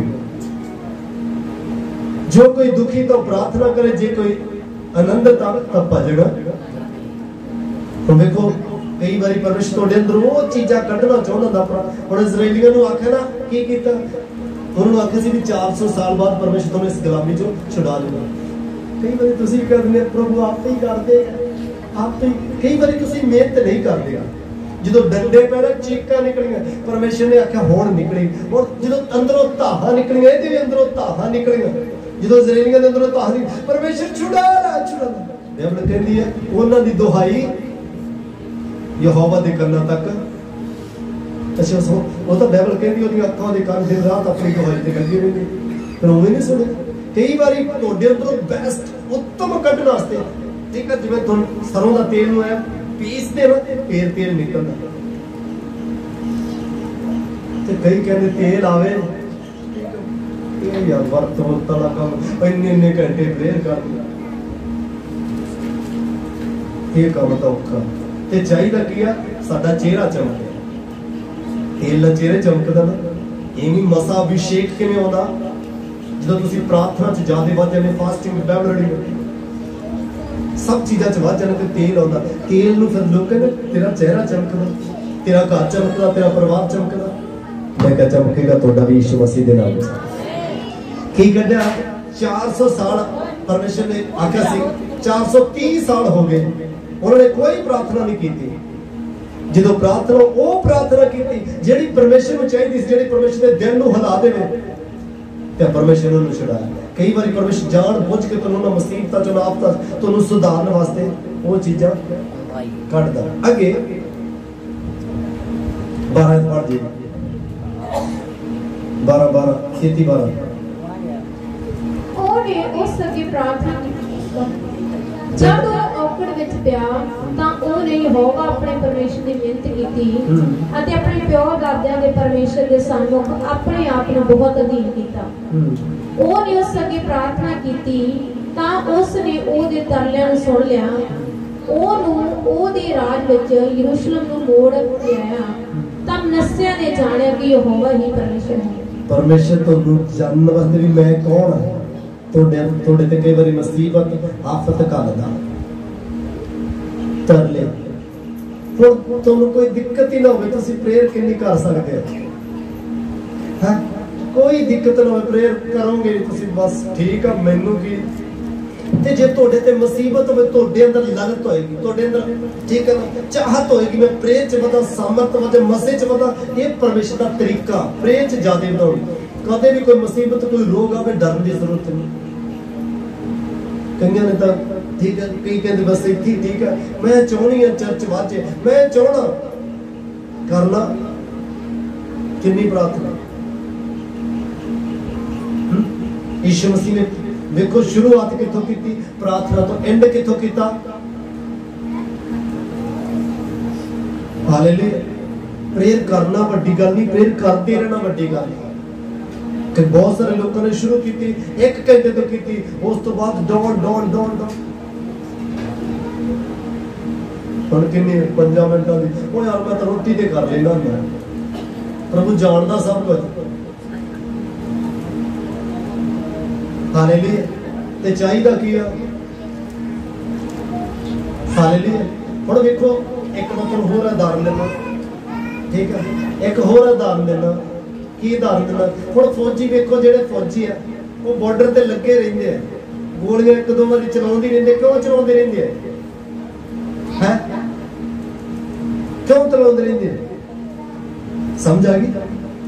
ਐਵੇਂ ਤੁਸੀਂ ਪੜਾ ਸ਼ੈਤਾਨ ਤੁਹਾਨੂੰ ਨਹੀਂ ਵੀ ਤੰਗ ਕਰਦਾ। ਨਿਤ ਮਾਰਦੇ ਨੇ ਹਰ ਬਹੁਤ ਦੁਸ਼ਟ ਆਤਮਾ ਦੇ ਪਲਾਨ ਜੋ ਮੇਰੇ ਮੇਰੇ ਬੱਚੇ ਪਤਨੀ, ਕਿਸੇ ਦੇ ਵੀ ਖਿਲਾਫ ਮੈਂ ਅੱਗ ਨਾਲ ਨਾਸ਼ ਕਰ ਉਹਦੇ ਵੱਜਦੀਆਂ ਹੀ ਨੂੰ ਨੇੜੇ ਨਹੀਂ ਆਏ। ਹੁਣ ਕੀ ਹੋਣਾ ਮੈਂ ਠੀਕ ਹੁਣ ਕੀ ਲੋੜ ਫਿਰ ਜਦੋਂ ਦੁਸ਼ਮਣ ਦਾ ਅਟੈਕ ਹੁੰਦਾ, ਉਸ ਤੋਂ ਬਾਅਦ ਉੱਠਿਆ ਨਹੀਂ ਜਾਂਦਾ। ਪਰ ਉੱਠਣ ਤੇ ਟਾਈਮ ਲੱਗਦਾ। ਕਿ ਪਹਿਲਾਂ ਹੀ ਉਹਦੇ ਵੱਜਦੀਆਂ ਰਹਿਣ, ਪ੍ਰਾਰਥਨਾ ਚ ਵੱਜਦੀਆਂ ਰਹਿਣ ਵੱਜਦੀਆਂ ਰਹਿਣ। ਹਾਲੇਲੂਇਆ ਅੱਗੇ ਜੇ ਤੁਸੀਂ ਦੇਖੋ 15 ਪੜ੍ਹ। ਅਤੇ ਉਹਨੇ ਉਪਰੇ ਦੇਵਤੇ ਅਤੇ ਉਸ ਪੜ੍ਹ ਪੜ੍ਹ ਪੜ੍ਹ ਹਾਂ 15 ਅਤੇ ਉਹਨੇ ਉਪਰੇ ਦੇਵਤੇ ਅਤੇ ਉਸ ਬੁੱਤ ਨੂੰ ਜਿਹੜਾ ਯਹੋਵਾ ਦੇ ਭਵਨ ਵਿੱਚ ਸੀ ਅਤੇ ਸਾਰੀਆਂ ਜਗਵੇਦੀਆਂ ਨੂੰ ਜਿਹੜੀਆਂ ਉਸ ਯਹੋਵਾ ਦੇ ਭਵਨ ਦੇ ਪਹਾੜ ਉੱਤੇ ਯਰੂਸ਼ਲਮ ਵਿੱਚ ਬਣਾਈਆਂ ਸਨ ਕੱਢ ਕੇ ਸ਼ਹਿਰੋਂ ਬਾਹਰ ਸੁੱਟ ਦਿੱਤਾ। ਉਸ ਨੇ ਯਹੋਵਾ ਦੀ ਜਗਵੇਦੀ ਦੀ ਮੁਰੰਮਤ ਕਰਾਈ। ਬਸ ਉਹਦੇ ਉੱਤੇ ਸੁੱਖ ਸਾਂਦੀਆਂ ਬੜੀਆਂ ਤੇ ਧੰਨਵਾਦ ਦੇ ਚੜਾਵੇ ਚੜਾਇਆ ਠੀਕ ਹੈ। ਅੱਗੇ ਲਿਖਿਓ ਉਪਾਸਨਾ ਦਾ ਪੜ੍ਹ। ਯਹੂਦਾ ਨੂੰ ਯਹੋ ਯਹੂਦਾ ਨੂੰ ਯਹੋਵਾ ਇਜ਼ਰਾਈਲ ਦੇ ਪਰਮੇਸ਼ਰ ਦੀ ਉਪਾਸਨਾ ਦਾ ਹੁਕਮ ਦਿੱਤਾ। ਬਸ। ਹਾਲੇਲੂਇਆ। ਕਿ? ਜਿਹੜੇ ਬੋਤੋਂ ਨੇ ਬਣਾਏ ਸੀ ਜਿਹੜੇ ਗੰਦੇ ਕੰਮ ਬੁਰੇ ਕੰਮ ਕਰਦੇ ਨੇ ਆਪੇ ਹੀ ਚੱਕ ਕੋਲੇ ਬਾਹਰ ਹੈ। ਸੱਟੇ ਕਦੋਂ ਸਿੱਟੇ? ਜਦੋਂ ਦਿੱਕਤ ਆਈ ਜਦੋਂ ਮੁਸੀਬਤ ਆਈ। ਬੋਲੋ ਪ੍ਰਭੂ ਜੀ ਮੈਂ ਤਾਂ ਪ੍ਰਾਰਥਨਾ ਕਰੋ ਬੋਲੋ ਪ੍ਰਭੂ ਜੀ ਤੂੰ ਵਾਅਦਾ ਕੀਤਾ। ਤੇਰੇ ਵਚਨ 'ਚ ਲਿਖਿਆ ਤੂੰ ਅੰਤ ਦੇ ਸਹਿਮਤ ਹੈ ਅੰਤ ਦੇ ਟਾਈਮ ਤੇ ਪ੍ਰਾਰਥਨਾ ਦਾ ਆਤਮਾ ਵਹਾ ਦੇਗਾ ਮੇਰੀ ਪ੍ਰਾਰਥਨਾ ਲਾਈਫ ਵੱਧ ਜਾਏ ਵੱਧ ਜਾਏ ਉਹ ਆਤਮਾ ਮੇਰੇ ਤੇ ਆਏ ਉਹ ਆਤਮਾ ਮੇਰੇ ਤੇ ਆਏ ਆਤਮਾ ਮੇਰੇ ਤੇ ਆਏ ਆਤਮਾ ਮੇਰੇ ਤੇ ਆਏ ਤੂੰ ਆਖੇ ਉਸ ਦਿਨ ਮਾੜੇ ਤੋਂ ਮਾੜਾ ਵੀ ਦੌਦ ਵਰਗਾ ਹੋਏਗਾ ਦੌਦ ਦਾ ਕਰਾਨਾ ਪਰਮੇਸ਼ਰ ਨੂੰ ਜੋ ਦੂਤ ਵਰਗਾ ਹੋਏਗਾ ਪ੍ਰਭੂ ਜੀ ਐਸਾ ਹੀ ਕਰ ਦੇ ਐਸਾ ਹੀ ਕਰ ਦੇ ਐਸਾ ਹੀ ਕਰ ਦੇ ਮੇਰੀ ਪ੍ਰਾਰਥਨਾ ਵੱਧ ਜਾਏ ਵੱਧ ਜਾਏ ਵੱਧ ਜਾਏ ਬੋਲੋ ਵੱਧ ਜਾਏ ਗੰਦਗੀ ਚਲੀ ਜਾਏ ਪਾਪ ਚਲਾ ਜਾਏ ਬੋਲੋ ਹਰ ਵਕਤ ਦੁਸ਼ਟ ਆਤਮਾ ਜੋ ਮੈਨੂੰ ਪ੍ਰਾਰਥਨਾ ਕਰਦੇ ਰੋਕਦੀ ਹੈ ਫਾਇਰ ਬੋਲੋ fire fire fire fire fire fire fire ਬੋਲੋ ਆਊਟ ਆਊਟ ਬੋਲੋ ਥੈਂਕ ਯੂ ਜੀਸਸ ਪ੍ਰਾਰਥਨਾ ਲਾਈਫ ਨੂੰ